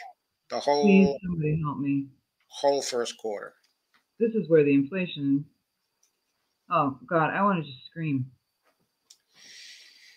Uh, the federal budget deficit for December 2021 was 21 billion. For December 2020 was 144 billion. Uh, they talk about the cumulative uh, uh, federal deficit they're just giving you all these numbers and statistics, and the whole. Does that make sense to me, Joe? Just for a second, let me just say this: when you run a surplus, you're taking capital out of circulation, right? You are money. you are literally destroying those dollars. You're Right, taxing more than you're spending. Hmm Tax revenue is destroyed by the Federal Reserve in settlement of the tax deposits. You are Right. literally, therefore, destroying the money. Right, right. So, so let's stick with me here. So when there's less in circulation, right? We all know that us us on the bottom of this, you know, food chain hanging out here in the micro where nobody pays any damned attention at the top of the house, right? Yeah. So you've got these corporations now, and when you are pulling money out of circulation, they then they can't leverage as easily, right? They've got they've got capital, they've got cash flow potential problems because sometimes they sell their receivables. It just depends. When But that contributes. uh, when you drag the money out, uh, but take it out of the um, economy by destroying the money, sooner or later you get um, um, actually liquidity crises Right. in the financial system. Right, exactly. So this is also another reason, maybe, why, not maybe, I know this, why companies can somehow feel that it is appropriate because they don't want to miss what they've called to the street, right? And we're we're projecting this. Oh, wait a minute. We're get, we, we're in a liquidity thing here. Things aren't as easy flow's not going as quickly. What are we going to do? What are we going to do? Well, we're going to raise some prices. Because they're never going to stop or admit that they're going to have a profit decline, Joe. Nobody likes to do that. They'll claw at anything before they will ever even stagnate month a quarter over quarter, right? They don't even like to do that. So this is this is another aggregator of, oh, okay, liquidity, things aren't flowing as easily. It's a little harder to do X, Y, and Z as a company. Well, I'm just going to raise some prices. Okay, here's the favorite thing they like to do. They have the national debt clock. Oh, and then they get tell you how much of it belongs to you. Yes, 90,243. Now that's just a plain lie. None of it belongs to you. Jesus, amen. That You know, debt was incurred by the federal government. Uh, the federal government has the constitutional power to create that money as it falls due. It is a debt of the federal government. You are not of the federal government. yeah, I mean, my God, this is such horseshit, and it's assets on the corporate books, for Christ's sake. Oh, you know, this is so awful. It's awful. The 30 It's just bullshit. the 30 trillion odd dollars that's money that the federal government has not taken from the non-government um, in taxes so that is 30 where- trillion is good for the non-government It's good for the corporations, Joe. Say it. This is corporate banking assets. It- it- uh, there's a lot of it that's corporate banking assets, but the assets that are in households also have not been taken by the federal government yet in taxation. That's part of the 30 trillion. Oh, I don't know anybody who hasn't been hasn't gotten an extra couple of tax bills over the last two years. I know we did. Well, sure, there are extra tax bills, but what I'm saying is uh, the 30 million, okay, in debt, those are treasury issues True. that have not been uh, redeemed yet by the federal Mhm. government. So Mhm. those are financial assets that are out there that have not been taxed away by the federal government yet. Yeah. So that's good. Well, it is good in one sense, Joe, but it's not good in another because where's all where who got out of paying taxes? Uh, it may not be good because of the distribution Right. of that $30 trillion that's out there. Exactly. Yes, Exactly. I completely agree. but the $30 trillion as a figure is far better than if that $30 trillion was at zero. Well, yeah, of course, but that's that's academic. I mean, that's like elementary academic to try to get people to understand, right? We need to run deficits. Of course we do. Because when you run surpluses, things go to hell in a handbasket. You need the money in circulation. You've got to have it. You've got to have it. You're taking it out, okay, of the economy. So these people try to scare you continuously with the size of the debt and then they're saying, and then Obama will, uh, Obama lying. It's your debt. It's ninety thousand for every single person in America. Yeah, right. I mean, they because say when a baby is born, it owes ninety thousand. I wish the ninety thousand of that. I mean that uh, number because if that if that was if that was if Joe just for a second, okay? If every person in the United States, put that back up, put that back up, slide this back down stop. If every person in the United States, if my household had government backed securities of $90,243, if this household owned those securities that was part of this debt number up top here, we wish we owned $90,243 worth of government backed securities because that would be the asset. The debt's up top. Yeah, right. But see, the bottom line here is they're saying here that that $90,243 is the responsibility, okay, of each, okay, and every American. But it's not. Of course but it's don't not. ask backwards because each times. and every American never contracted that debt. The federal government pays that debt off. That debt. But it's a lesson, Joe. It is a way to teach, right? I would, if I were teaching the accounting class, elementary accounting, right? The debt is this 30 trillion bucks. Okay? And that means that if every person in the United States held the asset, which was a piece of the debt, every person in the United States would have $90,243 of government backed security. Right.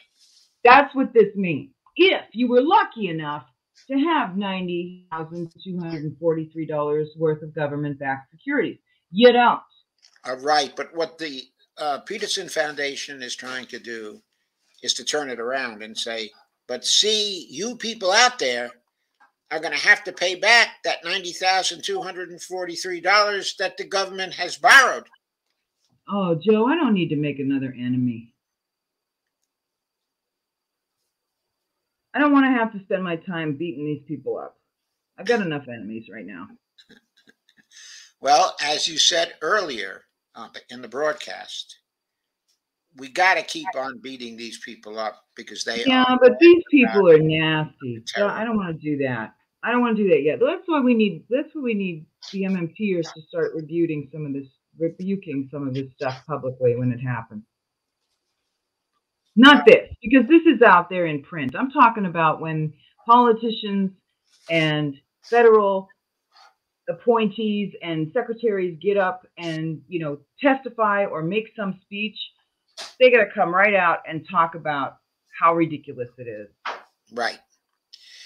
Okay, so we are running out of time. Okay, at the present, uh, we now have a choice of going to the comments and taking those uh, the remaining article was something that I know you're very interested in.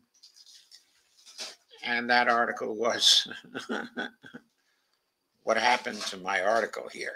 Why are fossil the Marxist oh here it is. Why are fossil fuel firms and Senate Republicans so afraid of Sarah uh, uh, Bloom Raskin?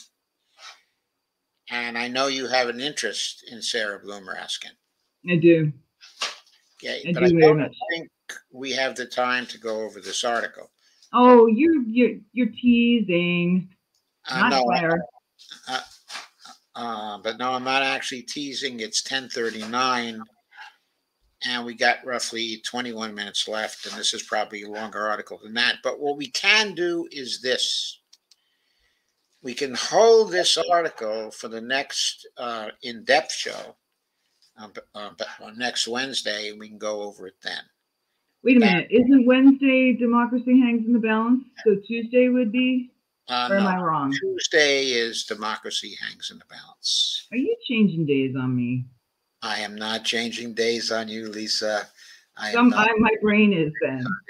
If you check, if you check what happened uh, by this week, when did Sherry Wise come on the program? What day was that? no idea. Don't remember, Joe. It's all running That together. was Tuesday. Okay. That was Tuesday. Was that Sherry- the day that I interviewed? Was that the day of the interview that I did or not? Was the interview? It had to be Tuesday. uh, yeah. Uh, yes, it was. It was. It was. That's why I don't remember. Because I was late. I was late coming in.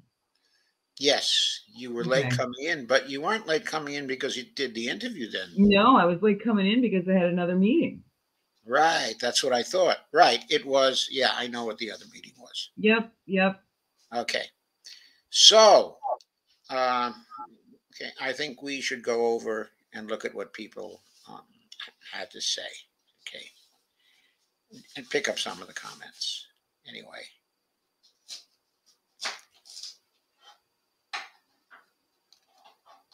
Of course, people uh, were very angry about uh, the California thing. Carmen is here tonight. I haven't seen Carmen in a while. Hi, Carmen. Yeah, Carmen has had a tough time actually getting on the internet, Oh. and that's why um, you know she has not been able to be here. But uh, she sends me things to review. Uh, I don't know, maybe four or five times a week. Uh, you know, I'm getting notes from her about this article that's appeared, you know, that article appeared. So she keeps in touch, but uh, you know, she's been having to go to libraries, uh, you know, to get to the internet. And I think tonight she has some special deal going where she's got some really good internet. So, of course, we are very um, happy to see her. She's very gracious both to Bonnie, okay, and myself, okay, in her notes. And we really appreciate them. And we really appreciate her. Yeah, it's good to see her. Um, Evelina says Newsom is a nuisance, as far as I can tell, not being from California myself. He's worse than a nuisance. He's not one who managed uh, COVID very well. So he was also about people dying on his watch. Well, wait till he runs for president, guys. Yeah, and we have the wonderful choice of Gavin Newsom or Donald Trump or maybe Ron DeSantis, otherwise known as Death Santis for people who come from uh, from Florida. In fact, I think it was Carmen who first. Wait a minute, Bill Bradley. Yeah, I'm I sorry. don't, I don't think that's the basketball player Bill Bradley. No, that's not what I was thinking. I've seen him before, but it's been a while. And Brandy says uh, Sarandon uh, stands up for a lot of issues that will help poor people more than the middle class. Yeah, she does. Yeah, she does. She's a really good person. Carmen says Newsom can open jobs in the green industry instead. Isn't that in the state um, um, allocated um, infrastructure funding via the federal government? Well, there's a little green industry there, but mainly that's a giveaway to the donors. Uh, the infrastructure bill that they passed. Oh yeah. It's it's really totally corrupt in terms of um, um, how it works, Carmen. Yeah, a few people will get some jobs out of it. Okay, For a minute, a couple years at the most. Yeah, Carmen says dump that incumbent. Then Dolores says dump the incumbents now. Ah, we got a number of dump the incumbents fans here. Steve or Ghost Start says now shoelace and paper chase, somebody else going to take your place. My grandfather say, don't hide your head, and mama's going to put you in the bed. Don't you know you've got to toe the line? That's a song. That's a song. Yeah. That's a song. Street poetry. Kay says, I've seen so much corruption everywhere. Carmen asks if anyone is in Shasta, California, and gives a link to a Raw Story piece, a reverge on Selmo, Shasta County. I don't know what that's about, but if Carmen suggests it, it'll be a good piece to read. Brandy says, Go start. I laughed reading some of the comment. Us damn commies. Kay says, Brown was elected by the GOP, by the GOP. Carmen says, uh, You have a raspberry beret, Lisa? It does look like a raspberry beret. Kind of. Yeah, I do. it's a beautiful beret. Kay says, Brown is already lying about uh, about Nina again. Oh, you were talking about Shontel Brown there. Yeah, she was elected by the GOP. And, and the money machine. By the GOP and the Israeli nuts. Carmen says Brown, okay, is GOP.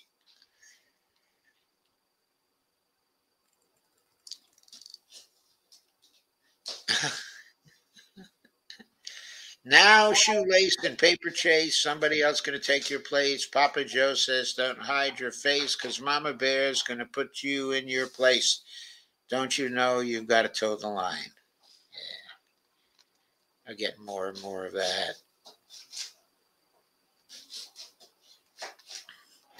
Carmen says, "Thanks for your feedback, King and Holly. I haven't been online much."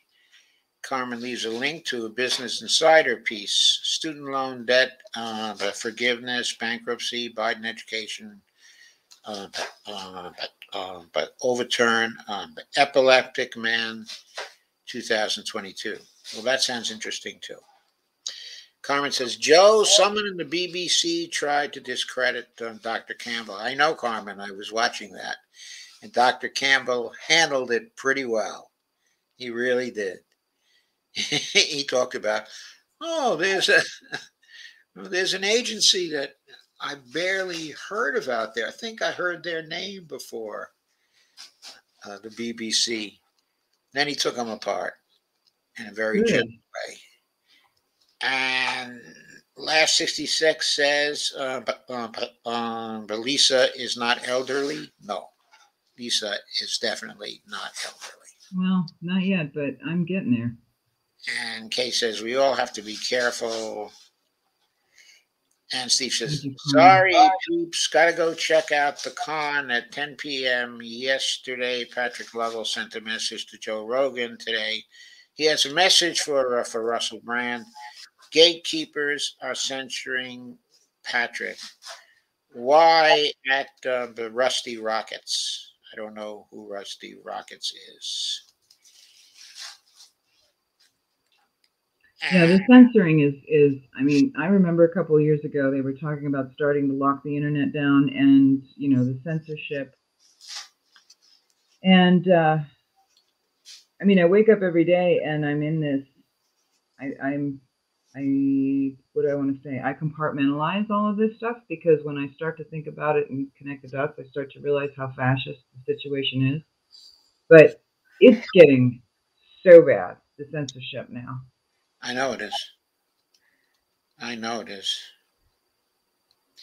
Carmen says, Lisa get to mention um, the Incumbents in her great interview because it got shared by Sarandon? The word is probably getting out, huh?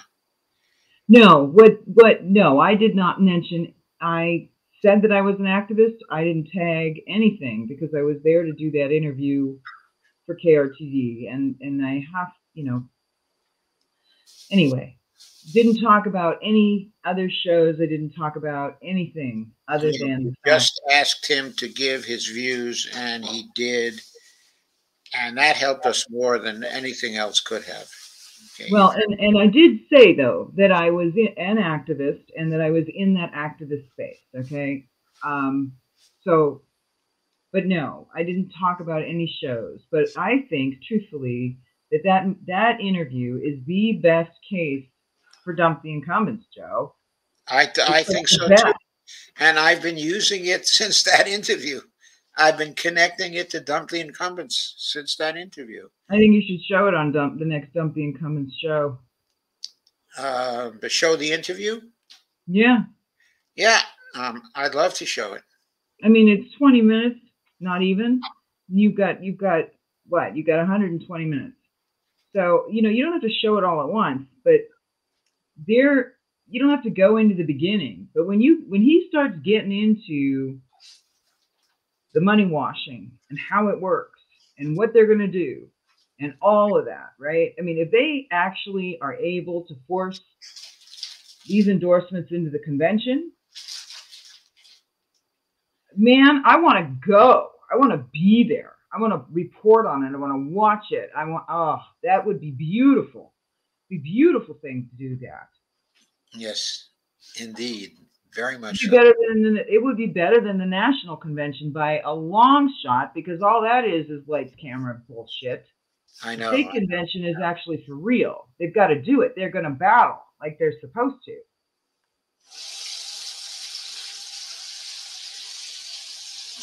Salon asks, what was that old cartoon thing, cartoon thing 3000 where they could make constant commentary on the video movie? Does anyone remember that? I don't know what that is. I'm not sure what that is either. I can't, uh, you know, quite uh, place it. Holly says, um, but, um, but Lana rings a bell. Sandy says, Oh, I remember that. I think it is still on TV. Carmen says, um, Ellis Winningham was great at exposing the hypocrites. Oh, yeah, Ellis was. he was really wonderful. He had a great, barbed um, sense of humor to stick people with. He was just so excellent at that we would love to get him on KRTD Media. Every once in a while, we try to get him interested. Now that Steven Hail is doing something on KRTD Media, maybe we can get Ellis roped in too. We will keep trying because he would be a great addition. Lana says there is a David Ray and a Ray Pickett. Not sure if that helps, uh, uh, but, uh, but, uh, but Lisa. Lots so we can have that sort of thing with MMT commentary on congressional hearings. Yeah, we could if, if if we set up coverage of congressional hearings for a couple of hours. We could get some of the MMT people there to comment on it. Well, you know, it would be even more poignant though to like get it and then rip the parts of it that are pertinent to MMT, right? So that they're not, you know, sitting through that, ugh, so much garbage, right? But then you get to the points where it matters, where they take those sound bites and stick them out on YouTube and they're five minutes long and, you know, they get four million views in a week, right? And, and that's all the people sucking up the rant, which is, you know, they're going to raise your taxes and blah, blah, blah, all this, all this stuff. It's just crap that keep people believing this bullshit, and nobody's fighting it. I mean, we fight it on this level, but we need to fight it publicly in a more pronounced, more prominent, more in your face. We're gonna we're we're taking this on. We're sick of this kind of way. Well, we should do this um, in the context of the MMT program that we are developing we can find ways to do this. I know. Yeah. I think it's a great uh, suggestion okay, to do that, and now we ought to pursue it. Kay mm-hmm. Ryan says, "Who um, is Randy?" Um, L. Randall Wray. He's a professor at um, Bard College, okay, in the Levy Institute. Uh, he's one of the three um, MMT fathers, as some of us like to say. Uh, excuse me, Joe. I got to go see my dog's having a fit. Okay. The other two are um, the Warren Mosler, okay, and uh, uh, uh, uh Bill Mitchell, who I mentioned, um, you know, a little earlier, okay, in the broadcast. They are the three who originated the MMT synthesis. The first one to get anything in print, okay, was Warren Mosler. And Randy and Bill followed uh, soon after, but they were all working together um, at that time. Uh, Stephanie joined them not uh, too much later. Uh, but, um, um, um, also, Pavlina Tcherneva, someone who was in there almost from the very beginning, maybe the very beginning, uh, was uh, was Matthew uh, uh, Forstater, who's a professor, okay, at UMKC. He knows MMT as well, okay, as anybody. He's a tremendous person. And Lonadell says, how about Greek staff? Okay, or Rowan, both can be pretty cutting. Uh, I, I, yeah, Rowan can be pretty cutting, but I think Randy, in his way, is even more cutting. There's a certain there's a certain tiredness and pain that Randy projects, which is very relevant to the kinds of criticisms that we are, you know, are looking for. and Randy is also very literary sometimes. Very, very eloquent. He can be with uh, his writing. Carmen says, Oh, great, Sandy. Yeah, I dig Ellis. He snaps. He hurts him so good. Lana says L. Randall Wray, PhD in economics, and a professor okay, at Bard College, and a, uh, a principal research scholar at uh, the Levy Institute okay, in New York. Um, Pavlina is the chair of the department the economics department at Bard College. And uh, uh, uh, Stephanie Kelton is now at Stony Brook, um, you know, on Long Island.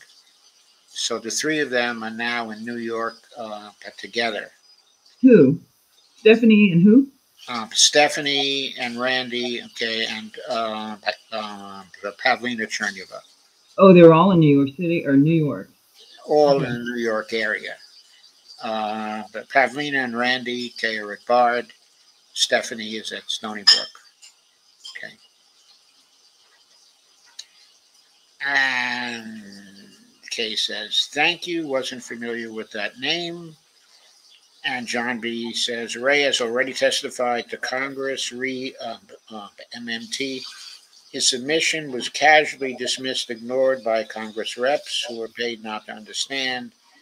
There is a, a, uh, a YouTube video of Wray uh, out there. Yeah, there is a YouTube video of Wray out there, okay, with a number of other people. But it is not true that his submission was dismissed, okay, ignored, okay, by Congress reps, because that testimony occurred in front of uh, John Yarmuth's uh, uh, uh, the commission and John Yarmuth a committee, I should say, and his committee certainly did not ignore it.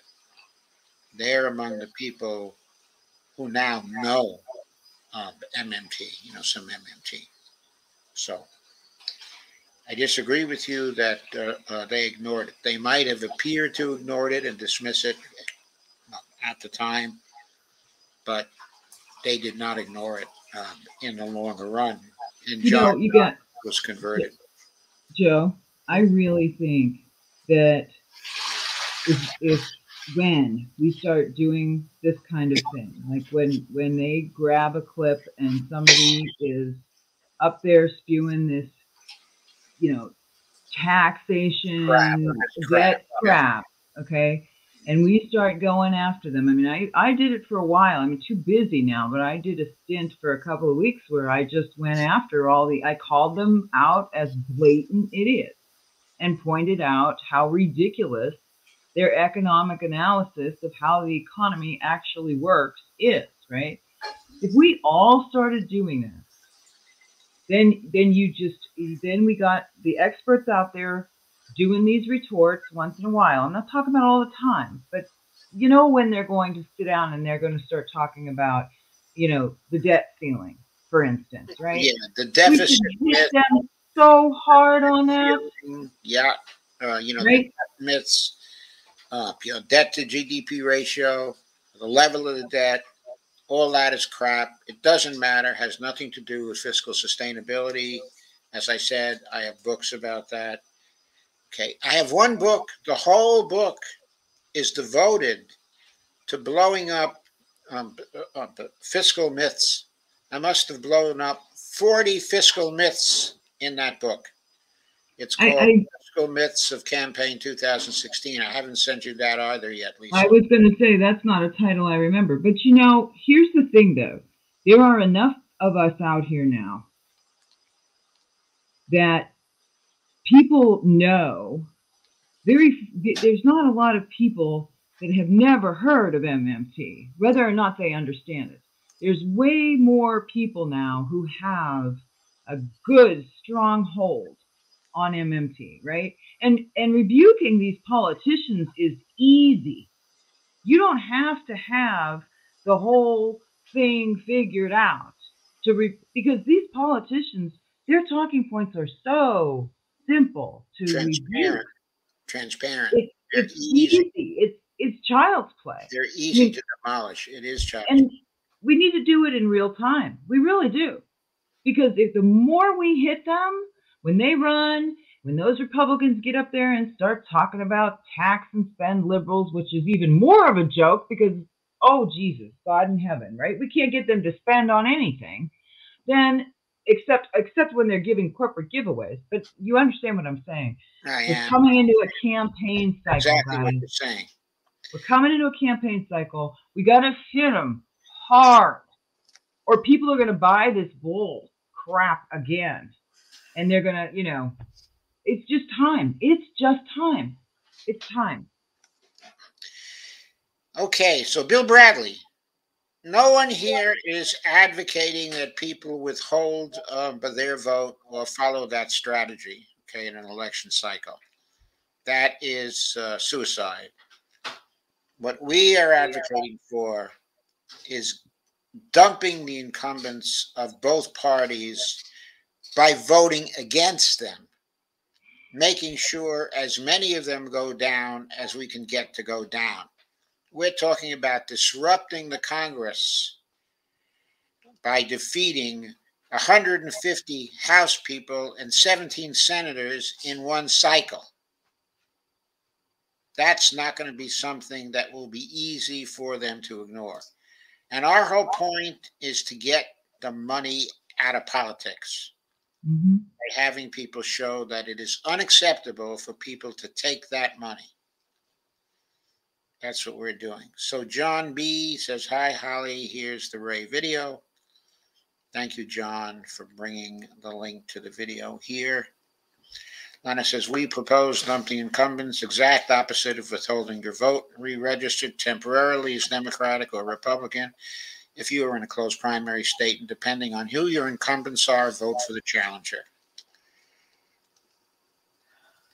And Bill Bradley says, Lana hates the clock. That is still withhold your vote. You withhold your vote from party chosen incumbents because they don't um, actually deliver. Some suggestion comes up every cycle. No, you don't withhold your vote from party chosen um, um, incumbents.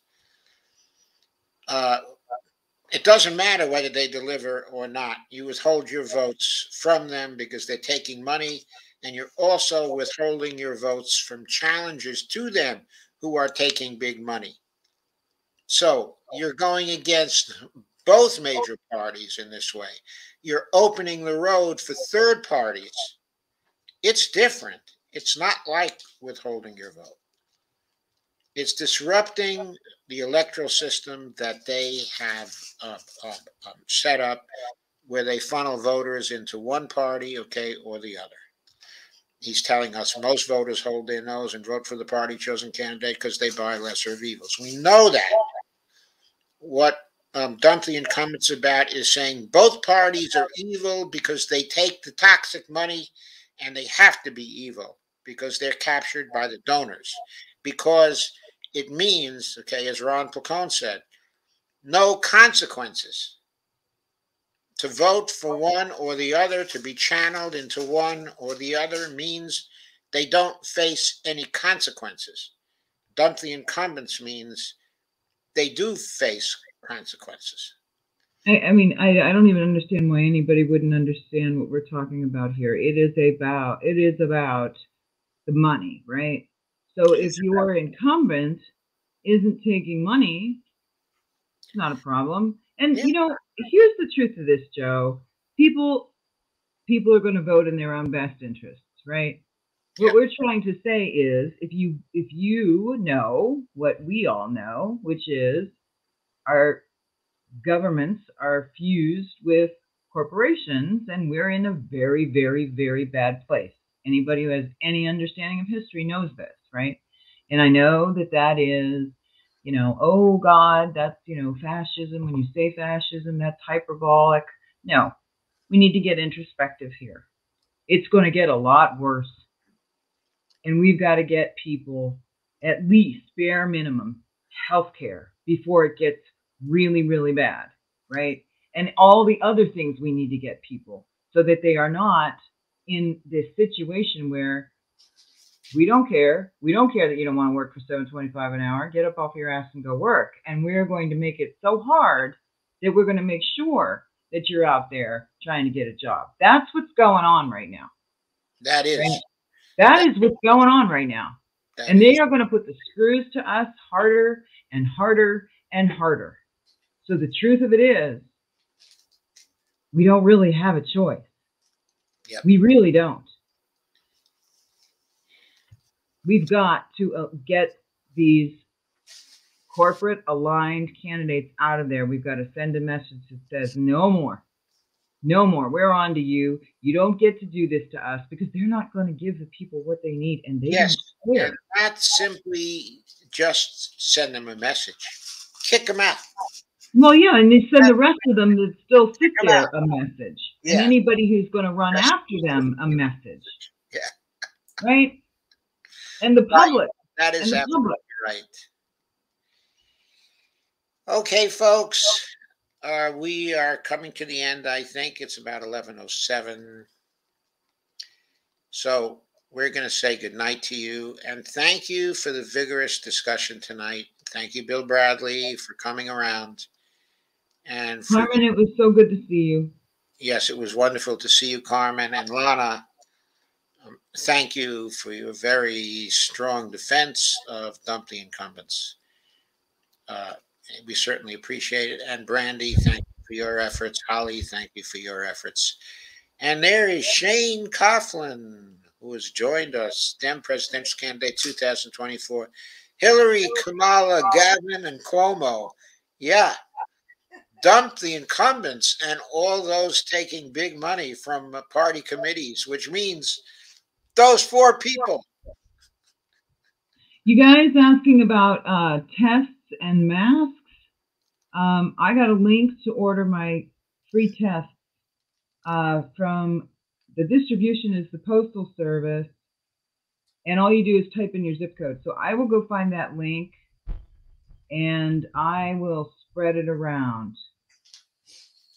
Um, just so you guys know, I got that link a couple of days ago. I did order, nothing's come yet, but uh, all you do is type in your zip code, and then they're supposed to be sending them out. So I'll find that link and I will send it to Lana and everybody that I know. Carmen, if you're following me on Twitter, if you're on Twitter, follow me at 50 lines only and I'll drop it. Sorry, I just want to make sure that everybody heard that. I'll get that That's link out. fine. That's fine. That's fine. That's fine. That's good information that people should have. Okay, Lana points out, okay, that Randy lost his wife, plenty of pain, uh, even though he married since. Yeah, that was Very, very painful. They were very close. Yeah, Randy and his wife, and her death was totally unexpected. Totally unexpected. Okay.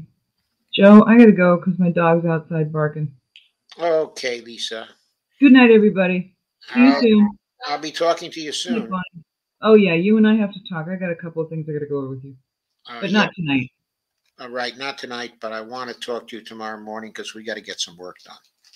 Yeah, I know we do. And tomorrow's Friday, right? That is right. I I am ready. Okay. Okay. Yeah. Um. Actually, if you do want to call me, if you do want to talk tonight, I will have a little bit of time. I just gotta go get my dog. Good night, everybody. Okay, bye. Finally made it to Twitter followers today. Took me two weeks to get from 935 followers. Once I got active on Twitter, it wasn't too hard. Carmen says, Fantastic, Shane. Congratulations. Shane says, Long time, Carmen. How are you? Rolling the punches, as they say, Shane, but I get it. Get up. Thanks for asking. Hope you and your beloved are well and spunky. Shane says, Joe, you need to bring Michael Moneta of Wolfpack on Dump the Incumbents. He's very much interested in it.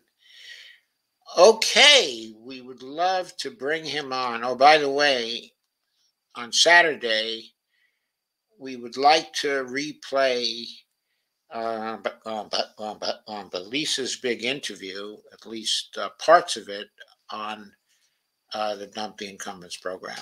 I'm going to talk to Sam about it as well. But just so you know. Okay. Okay, says, by the way, I heard that Biden is backing 401k problems for people. Yeah, yeah, I heard that too. There's an article about that out, which we may cover next week. If you have one, keep an eye on it. Uh, it says, yes, Kay, I saw that earlier. Tag Joe and Lisa. Okay, a few others. Uh, yeah, I think that's where I got it, Lana, from your tagging. And good Lana Carmen says, have you guys been able to get the free COVID tests um, via mail yet? How about the three free N95 masks? I'm bringing it up because I suspect that DeSantis is holding it up via corrupt uh, DeJoy. It's perfectly possible. Changes another Republican 2024 candidate, um, but, um, but, uh, um, um, but, but, but Ron DeSantis. Absolutely true, Shane. It's also true that if everybody followed um, dump the incumbents, all the rules for dump the incumbents, including the rules about defeating challengers who were taking the big money, Ron DeSantis wouldn't have a hope of winning in 2024. Neither would Donald Trump. Neither would any of those folks taking big money from the Republican committees. Lana says, uh, but, uh, but, uh, but shut up, Shane, and smiles. And no mass here in New York City. Lisa, we got to read about um, Ayurvedic and Chinese medicine before they ban that knowledge. It's the only thing keeping me alive. Cinnamon is my lifesaver from uh, diabetes. That's interesting. Very interesting. Holly Run says, thank you and good night, all. And Dolores says, good night, everyone. Lana says, good night, all. Carmen says, Holly. Brandy says, I signed up for the test. Haven't gotten them yet. I ordered it already, but not available so far. Uh, and Holly uh, Holly uh, Horn says, YW Carmen, I have N95s, but I want the free ones. We have KN95s, and we would like the N95s too, if only just to compare it with uh, uh, the KN95s, which we like a lot. Okay, says night, Lisa. Sandy says, thank you, everyone. Have a great night. Carmen says, uh, thank you, lovely Lisa. And Kay says, night, Sandy. Have a great night, Kay. Uh, and Shane says, uh, but, uh, but uh, Lisa's interview is at over 40K views on Twitter. I know it is. We need to get it up to a million, Shane. Got to get it up to a million. Kay says, nice, Shane. Hope I get um, internet Saturday, Joe. I hope you do too, Carmen. That'd be wonderful. Cases you two, Sandy Moore, Republican candidates, Chris Christie, Tom Cotton, Pat Toomey, all big money people, all unacceptable. Maybe Ted Cruz, all big money people, all unacceptable. Folks, okay, I gotta leave. I'm getting tired. The old Iron Man is getting a little tired. So I'll see you later, folks. Bye.